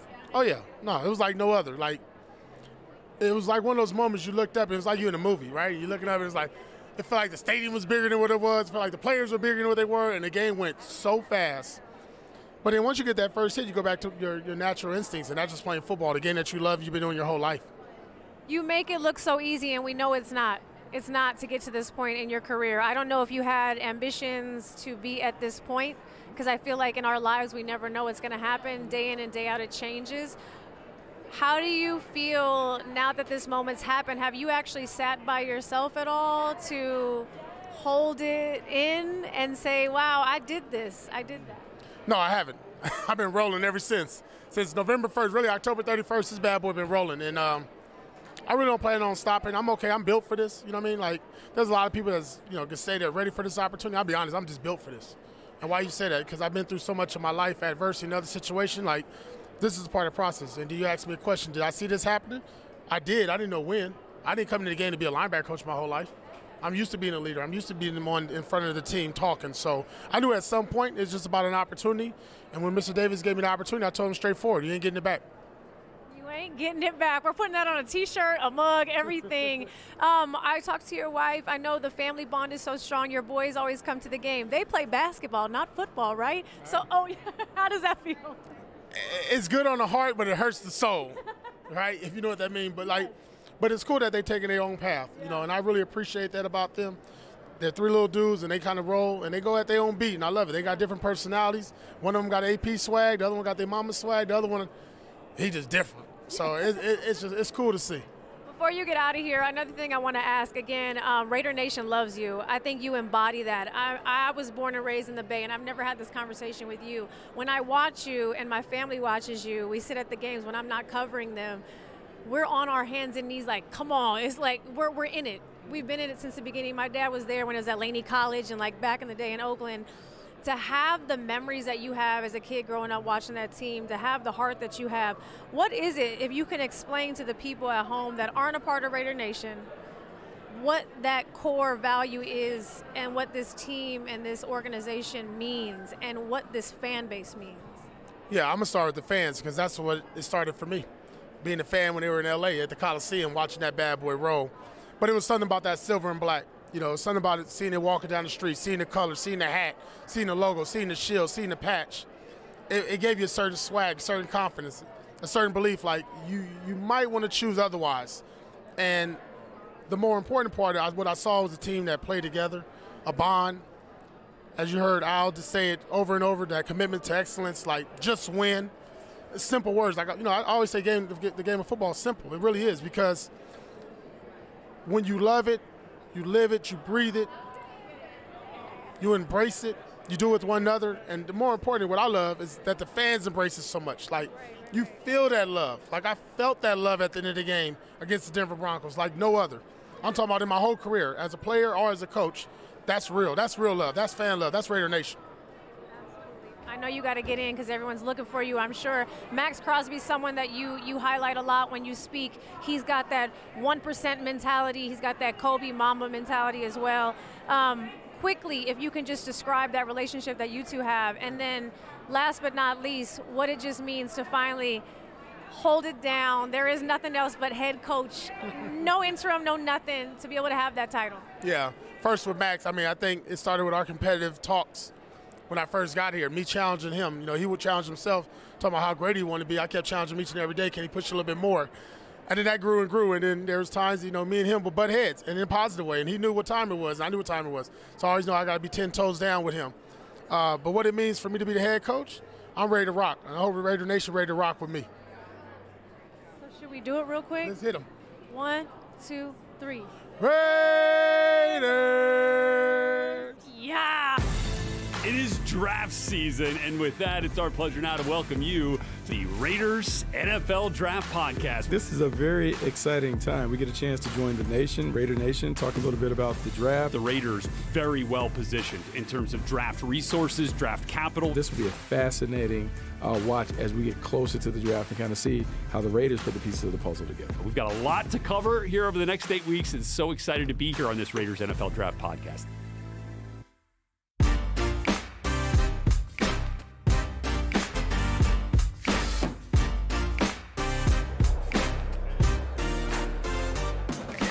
Welcome back to Raiders Live from the Super Bowl. Still hanging out here with Kirk Morrison Yeah. on Media Row. And there's so much excitement around the defense because of what happened at the end of last year. But the defensive line, and we've had a couple guests come through here and say, hey, I'd like to see a little bit, Akbar just said it, a Right. little bit more depth at the defensive line position. And Right. he's not wrong for that. Right. We've seen uh, when you're able to rotate defensive linemen the way that you can wear out other offenses. We saw that a couple years ago with the 49ers team that went to the Super Bowl a couple years ago, how deep Correct. that defensive line was. So free agency, Yes. there are some big, uh, and I mean big names. Now they're going to cost. Right. So I, I, the Raiders are about forty million dollars under the cap. Correct. That's about how much room they have. But Chris Jones is going to be out there. I like that Yes. Justin Madubuike, Okay, absolutely. right? We saw him at the Pro Bowl together. Any names stand out on the list here for you? Yeah, I would say also like Leonard Williams because I think we're talking about interior rush. I thought Malcolm Koonce shown a lot uh, on the outside. Maxx Crosby, he's your bookend. He's set. Um, you also drafted Tyree Wilson last year, so the development that he's going to take going from year one to year two. So you feel like you got a couple of experienced outside rushers already. I think in, inside you want to develop a little bit more depth there. That's where I see in free agency creating some more competition along the middle of a defense. I feel like not having a quarterback step up in your pocket, right? Not having Patrick Mahomes step up in your pocket, not having Justin Herbert step up in the pocket, or in whoever the Denver Broncos put at quarterback. That's going to be huge for the Raiders. I think that's where they want to lean on. You want to create and flush the quarterback out of the pocket and allow Koonce and Tyree Wilson, and also obviously Maxx Crosby. Who should have been defensive player of the year? At least, at least more people voting for him. That was defensive player yeah, of the year. That's a whole that. other I'm- story. I'm, not okay with that one. but I, I, we want to see more of that. that. I know, but I think it, it comes to wins and losses. Uh, Yes. The Raiders obviously fall short of getting under. I mean, getting at 500, and so I really believe that next year, once they get over 500, they'll get more of the recognition that I think a guy like Maxx Crosby deserves. And also, it's nice to know that Maxx could get those kind of honors because he does have more help. I think the emergence of yes. Malcolm Koonce made his life easier. And imagine if Tyree Wilson uh, begins to emerge as well. We Correct. saw incremental improvements in his rookie season. But, you know, I've, I've spoken to a lot of veteran pass rushers Mhm. that are retired, that are, are still playing. Right. I remember Justin Tuck telling me I was a disaster my first year in the NFL. I, it, it, everything happens fast, and not everybody comes out, especially pass rushers Right. uh, learn how to rush the, rush the passer in the NFL in their first year. But Tyree Wilson did better when they moved him on the inside. Correct. What do you think they'll do with him this year, Patrick Graham? I think that you build off what you saw from him when he was in certain positions, he was able to excel. And I think that's where you start with him. The game will slow down for a player in his second year. For Tyree Wilson, it'll be that way he now understands how offenses want to block him.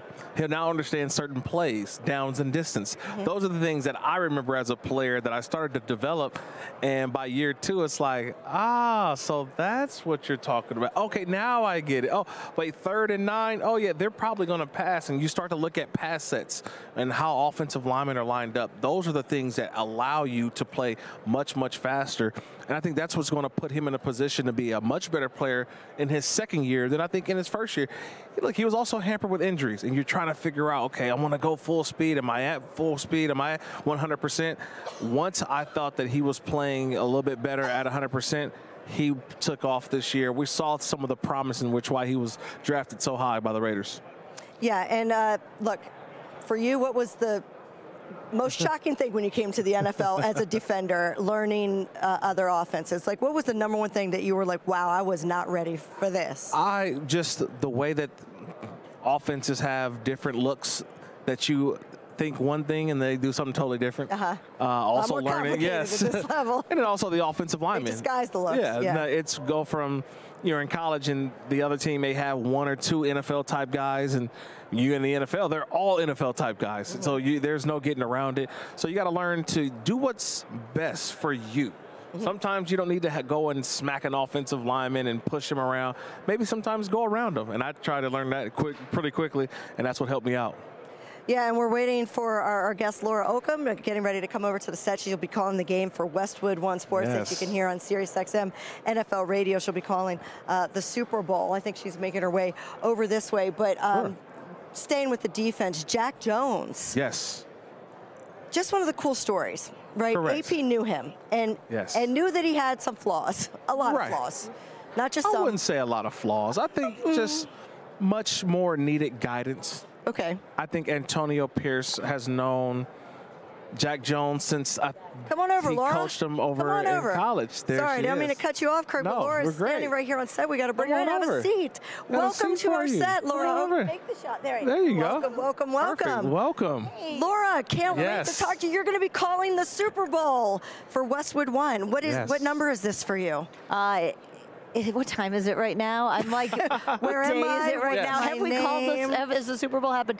It's number five. and five. Yes. what's really cool is I thought that this dream was so far gone and was like, okay, well, that's just not going to happen in my career. Mm-hmm. But to be at this age over 50 and be like, I got to, I'm now on my fifth Super Bowl. Yes. It means so much more to understand how hard it was to get down there, to understand the privilege of it all, and also just to be at the age to know how pretty, how awesome it was and how much work it took to get here. You know, I always love the the picture that you paint because you're down on the field and you have a perspective that us as fans who'll be watching the game, we don't get a chance to see.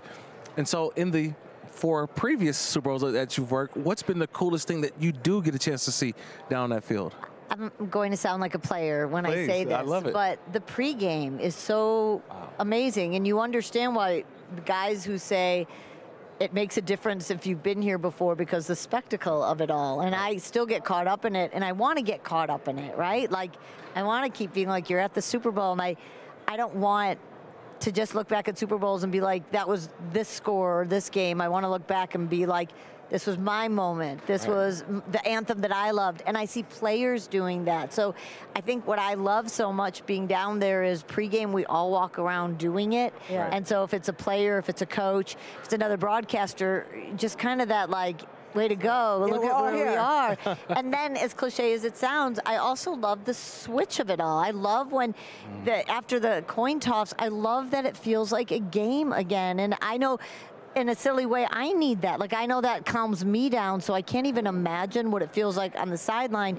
But that's a cool moment when you feel everybody, like all that adrenaline and all that excitement, and then all of a sudden, it's like, oh, here, we're finally at a game, we're going to settle in. Yeah, everybody's up here, and then all of a sudden it's like, oh, okay, okay, Uh, we've done this before, Yeah, but even for yes. the Oh, broadcasters, yeah, yes, even for the there it is. broadcasters, it feels like that. Um, Laura, I'm, you know, I'm such a big fan of yours, and I love that you point out that you thought that the dream of covering a Super Bowl or calling a Super Bowl was gone, and I'm going to be frank about it. You probably felt like that because you're a woman and you're over 50 in this business, and we face a certain, a different kind of challenge in that sense that that the opportunities go away as you get older. And there's women like you that are battling that. And you started uh, Galvanize, which is here at the Super Bowl, right here, Media Row. You'll see the Galvanize set. Yeah. And it is to recruit and train women in sports and sports casting, and I've been interviewed by a couple of your galvanized reporters.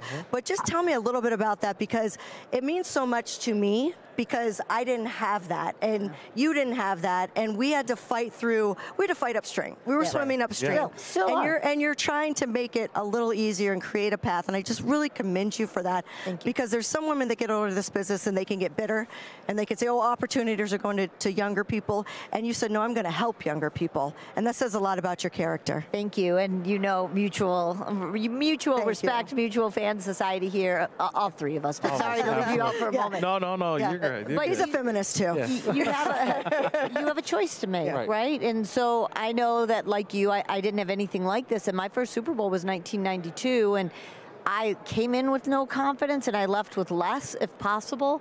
I was in so over my head, and I was just completely like just over my head and just was being told you don't belong so you didn't feel like you belong and so it, to be able to full circle all these times and now bring all these The good thing is, at one point in my career, I started seeing more and more women, right? Like, first in 1992, there weren't any of us. And then it was like, okay, there's a handful, and then there's two handful, and now we could never count. There's so many women. Correct. But what I would also say is it's so many women just getting thrown in, and I just kept feeling like that little girl in 1992. And I saw them. I'm sure you did too. Yay, there's more numbers, but They're I not set up for success. No, and their Yeah. confidence is being Yeah. shot, not just on a Sunday, but on every day. And so it was just, uh, you know, me going, how can I help? And I'm really thankful, Amber, that it wasn't when I was 30 when I saw it, or 40. I, I was 40 or like 35, because I think at that point I would have been more judgmental of the women and been like, well, then they can't cut it. Yeah. You know, because that's how we were raised in this Yeah. business. But I was at a more motherly, protective age and was like, well, that's not right. How can I help? I can't change the system, but what can I help change? And it started with 20 women in a conference room for two days with me, like, I don't know, how can I help? And it's over 5,000 women now, and Wow. we are all over sports. It started in the media, but now we're, I mean, we're PR, we're marketing, we're agents, we're um, human resources, we're coaches, we're everything. How about GMs and presidents, and and, uh, Yes. and also because that's where we're lacking. And what does it mean for the Raiders to have always been a leader? Always. From Amy Trask to Sandra Douglas Morgan now, Always. been a leader in putting women in the front office positions. And also, we, we sat down and galvanized with Amy the other day, and our, one of our reporters, Drew Jones, asked her, "When's the first time you stopped being?" You've been, you know, a first this, you know, the, Right. uh, the first woman CEO, the first woman this. When did you just become a CEO? Yeah. And Amy was right away like, I always was. That's how I looked at myself. And I was so in awe because I was like, my Lord, that took me to 40, you know, of not being a woman broadcaster, but being a broadcaster. And so, what I love about what Al Davis did and what Mark continues to do in this organization is it's not just the first woman to do this, it's that's the best person Yeah, for who's the that best role. person and here's the, the, job. title. And Sandra is. You know, you get to know her. Yeah, You've, you've had a chance to have relationships with general managers and coaches that they trust you with the information that they provide to you, and you've seen them grow throughout the business. Yeah. Uh, the Raiders have two new ones in terms of their interim head coach, now head coach, and Antonio Pierce. Tom Telesco is now their new general manager. He comes over from the Chargers. In your workings in the NFL, what what are the Raiders getting with this marriage between these two? Um, we had my NFL on Fox crew is Kevin Kugler, Mark Sanchez, and we had you guys uh, for Antonio's first game. Yeah.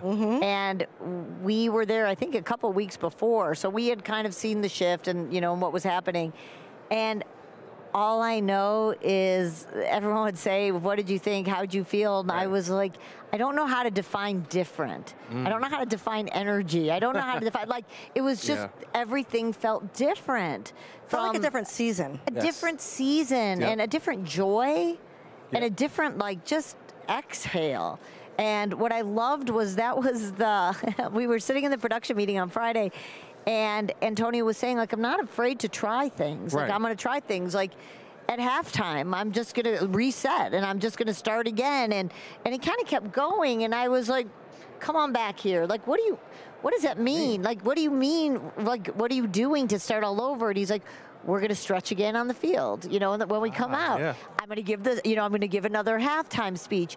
And we were like, is he messing with it? Like, should we bring this up? Or like, but they came really out early that. and guys were stretching and got, and they did this reset. And of all the years I've been doing this, it's the first time anyone has done anything different coming out of a locker room at 100%. halftime. Yeah, and, and that's when I was like, oh, this is fun. And so what I love about Antonio is he certainly isn't new to the league. He's new to the position, but what I love is that he's also he's old enough that he's done it, you know, that he's been here before, but he's young enough to go, let's shake this up. And if that isn't the Raider way, I don't know what is. Absolutely. Yeah. Love that. I love that.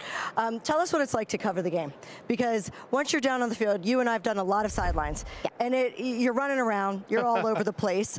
Um, but how is the Super Bowl different? I mean, you're with you said Kevin uh, Kevin Harlan will be calling this game, and Yeah. is it Kurt Warner? Kurt Warner, also and then Mike Golic and I, will also yeah. be there, so you Yeah. can check that out on Sirius XM NFL Radio, all Westwood One stations. You guys will be broadcast.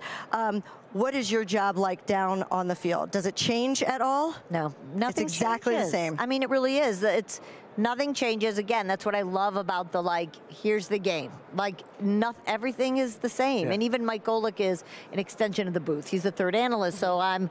You know, both sidelines. So nothing changes except when the clock hits zero, and then I just get to go and, And go grab everybody and Yeah. get the head coach and get the MVP. And that's my favorite part of the Super Bowl is getting those. I say I have to disagree with you, No! Laura. I have to disagree with you. Tell me. because I'm biased, and the reason why I'm biased is because when you watch the Super Bowl, it's the network Super Bowl. Yeah. So that means that the pictures are kind of shown, so you see them. I'm biased to the radio call and Yeah, listening totally. to you guys because you have to paint the picture for me. I love that. So. I love when the Super Bowl is happening. I've had a chance to cover them now. This is my ninth Super Bowl. This is your And ninth I- Super Bowl? Yes, covering it, you know, doing Okay. interviews with the players. Yeah. But I put that transistor radio on and I listen to you guys because you're painting a picture of what you see, of what's in front of you, which if you're not watching the game, Yeah. you're listening to the game and you get more in depth. So I, I'm biased more to the radio, Radio. than I am the TV because it's you're more watching it. I want to hear it Hear and it. see it. Um, radio is so much fun, and it's like I get the best of both worlds. Like I'm chocolate and peanut butter. Like it's you know during the season on Right, TV, and there's some cool Yeah. things about that. The access is different, Yeah, and the production meetings, and I wouldn't want to give that up, but.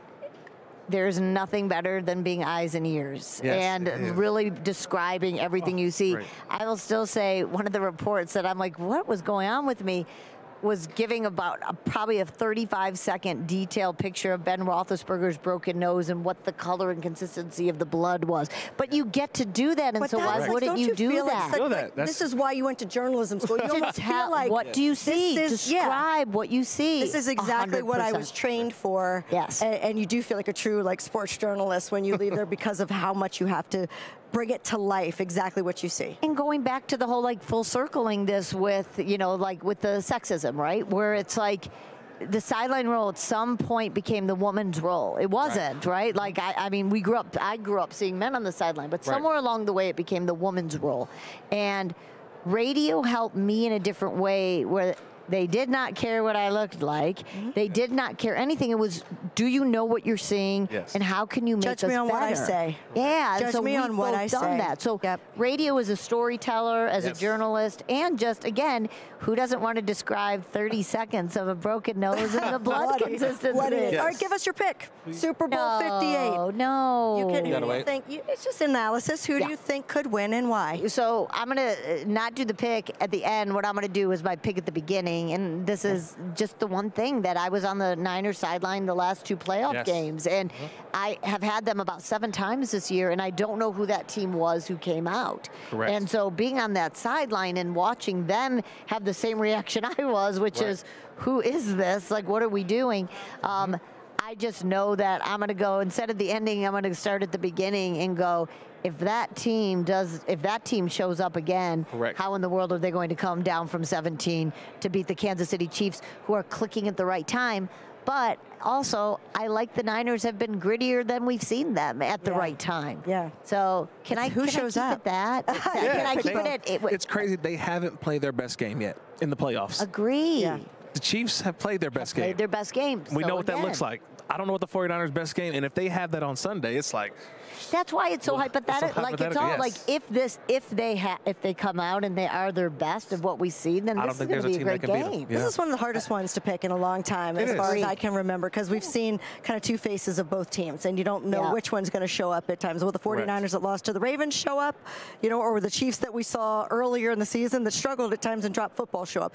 It depends on who shows up. But Laura, you do so much amazing work. We I cannot wait this. to hear uh, your call on Westwood One, and congratulations on your fifth Super Bowl. Thank you. And your ninth, what's your number? Congratulations. Oh gosh, I think it was 12 or 13 Yeah. for me. Look at us. Yeah, Yes, look at us. look Here at we us. are. We're good. We We've are. done good, kids. We've and done you know what? good. Thanks for stopping Thanks by for Raiders having Live. We appreciate it. Thank you. We'll be right back on Raiders Live. Much more to come from Media Row.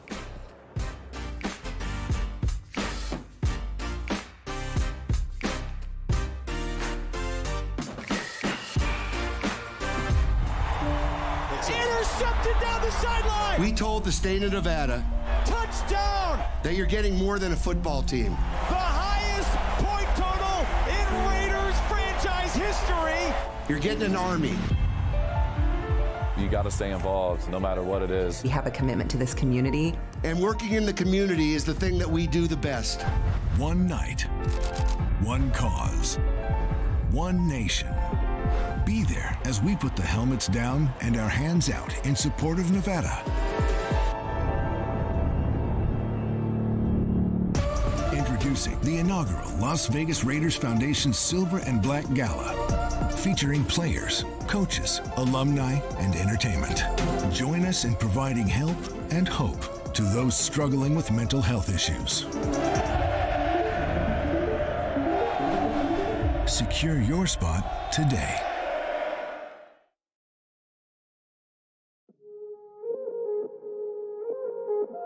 Hey Raider Nation, my name is Jordy. I'm originally from Topeka, Kansas, and this is my rookie season with the Raiderettes. I wanted to be a Raiderette because I've always aspired to be on this team. Not only are these women amazing dancers, but they're amazing people, and they have such a positive impact on the community on and off the field, and I'm so grateful to be a part of that this year. To put on the silver and black is a huge honor. Um, like I've said, this team is full of not only amazing dancers, but amazing people who inspire the younger generations and those around us and each other throughout the season. So I'm so grateful to be a part of this sisterhood. Um, the audition process was intense, but also really fun. I got to meet so many amazing dancers from all over the country who, you know, have we all have the same goal and we're all there for the same purpose. But what really was amazing to me was how supportive everyone was of each other. Um, the girls, the vets, the new girls auditioning, the coaches, everyone was just really excited to be there and happy to audition. This season, I am looking forward to the first stepping out on the field and feeling the energy from the crowd. I have been to a couple Raiders games, but I'm sure it'll be even more exciting being on the field with my sisters. See you on the field, Raider Nation. Just win, baby. It is draft season, and with that, it's our pleasure now to welcome you to the Raiders NFL Draft Podcast. This is a very exciting time. We get a chance to join the nation, Raider Nation, talk a little bit about the draft. The Raiders very well positioned in terms of draft resources, draft capital. This will be a fascinating uh, watch as we get closer to the draft and kind of see how the Raiders put the pieces of the puzzle together. We've got a lot to cover here over the next eight weeks, and so excited to be here on this Raiders NFL Draft Podcast.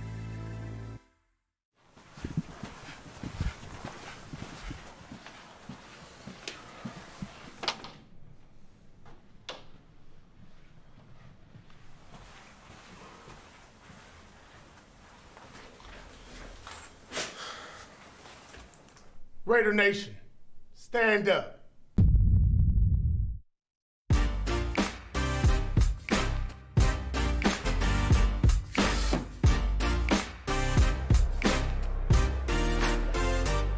Welcome back to Media Row here at Mandalay Bay in Las Vegas. Raiders Live rolling on, and Yeah. you know what? It, it's it's Friday afternoon. It's Friday. All the shows are wrapping up. We're starting Absolutely. to see sets starting to come down, and that means that we're getting closer to the Super Bowl. You so. It it. is exciting. But you have covered, as you said, nine Super Bowls. Yes, Okmin nine of them. just told us that. Correct. And we're gonna have you play our game that everybody has been playing. First, can we take a look at the leaderboard Yes. to see who your competition I'm is? ready. Right now, Kimmi Chex is in first place. She got it all right. 14 in points. 14.7 Really? seconds. I still don't even think that's possible. I, uh, Um, yeah, not possible. I think Michelle Beadle's not even on there. She was so bad. I think she was our worst one. Okay. She's self-admittedly. Um, so that's who you're up against. So you got one minute. I got one minute. Okay, I'm put the microphone down, But and I you feel like I feel like you have an adva- have an advantage because you know what the game is and Yes. you've had time to think. Whereas our other guests. no, no. No. I just know the game. I, I, I just go off the past winners. Okay, all right. Let's so you know the winners and where it happened at. So I'm going to put the microphone down. You don't have to put the winner. You just have to put where it happened. All you have to put is know. the city. But the winner coincides with me with the city. So I, Yes. I- that's how I got to do. Oh, you got to go in your head. I gotta who go in my head, who won Wow, that's where. an interesting take. Okay. Okay. All right, I I'm just putting the microphone what down. dinner did I like the best and what Oh, city was see, it in? Here we go. Okay. All right. Here you we ready? Go. Hold on. Hold Turn. on. Ready? Let Okay. me know when to go. Three. Uh, okay. Okay. Okay. Okay. I'm ready to go. Tell me to go. Three, two, one, go.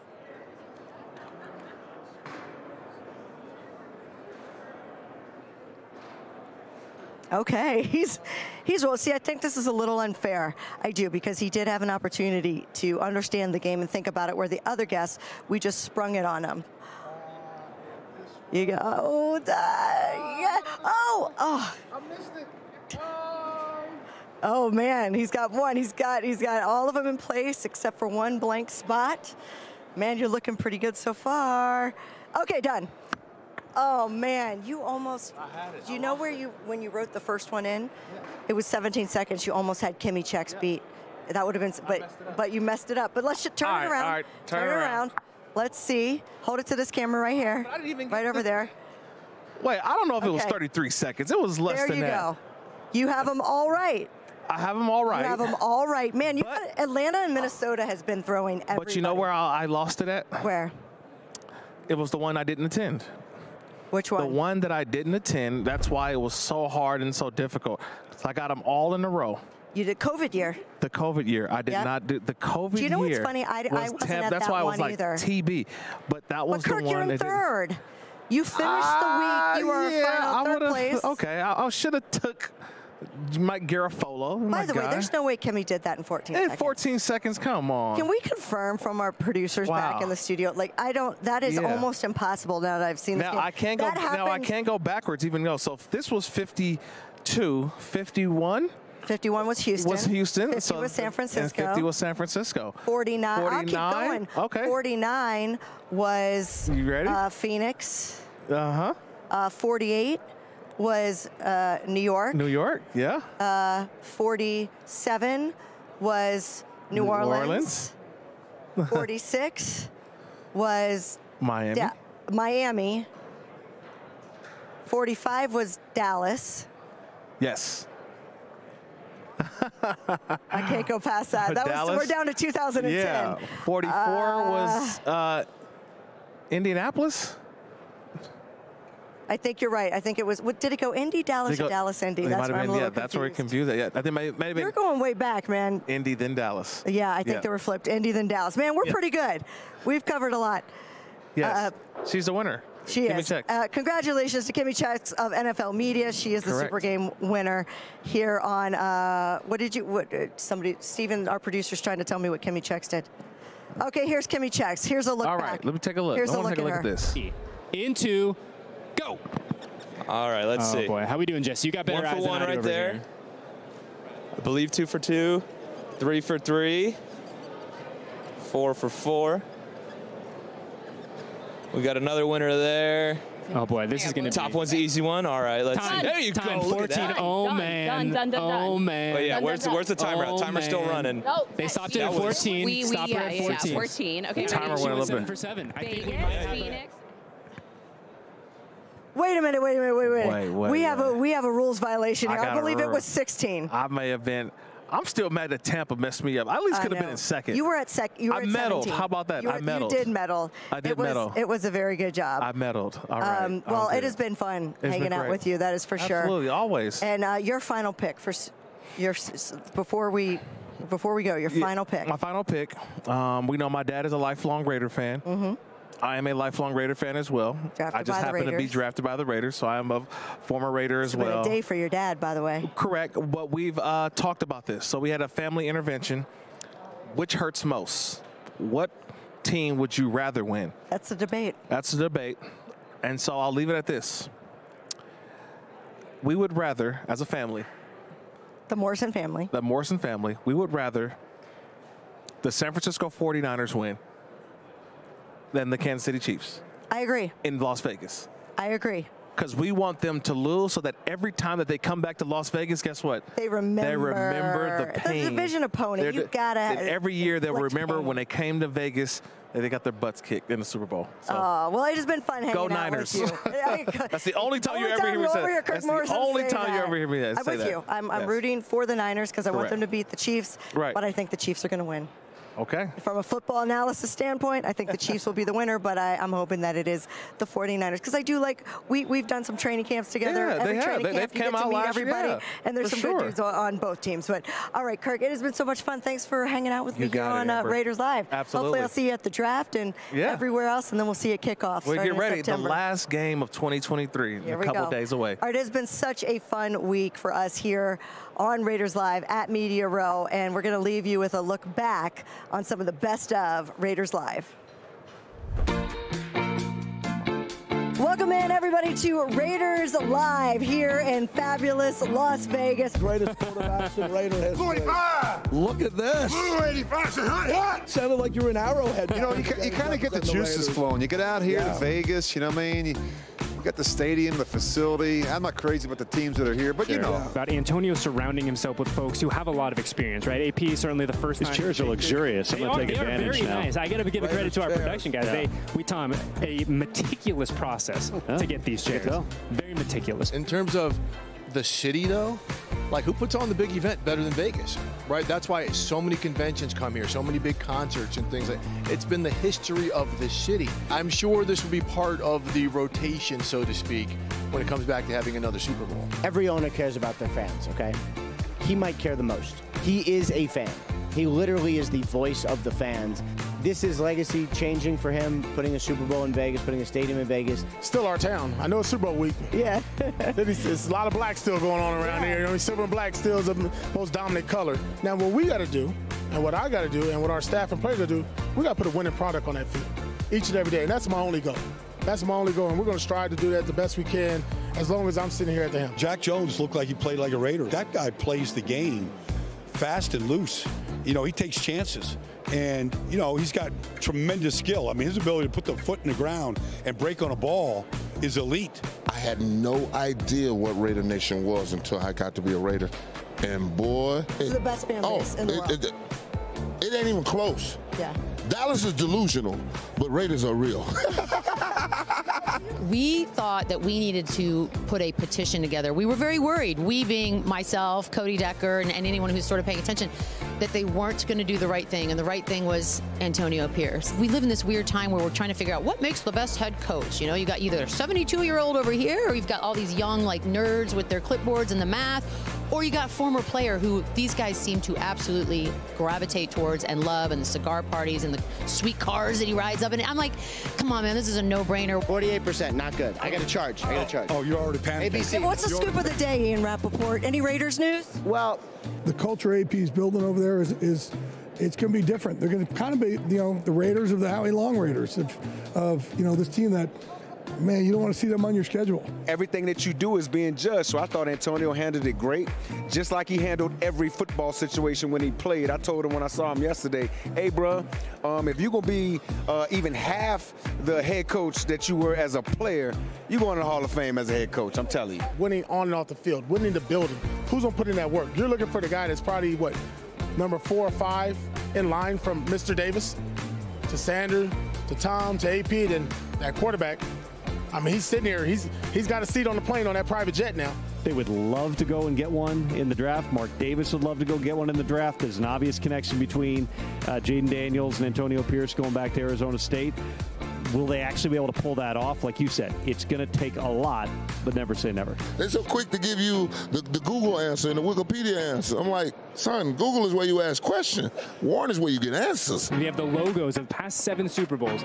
Can you, from memory, put down where the location of each of those Super Bowls were? Oh man, this is not great for me. I know we got Scottsdale or Arizona, whatever, whatever All you right, want we to got call two, it. we got And I two. think I'm done already. Uh, yeah, Tom Pelissero goes to all these things. He I- does, You know, he does. I'm sitting he home. does. I'm blanking. Um, gosh, where was I? Where was I? Where was I? Uh, give me the answers. Shit, what was before Miami? Las Vegas.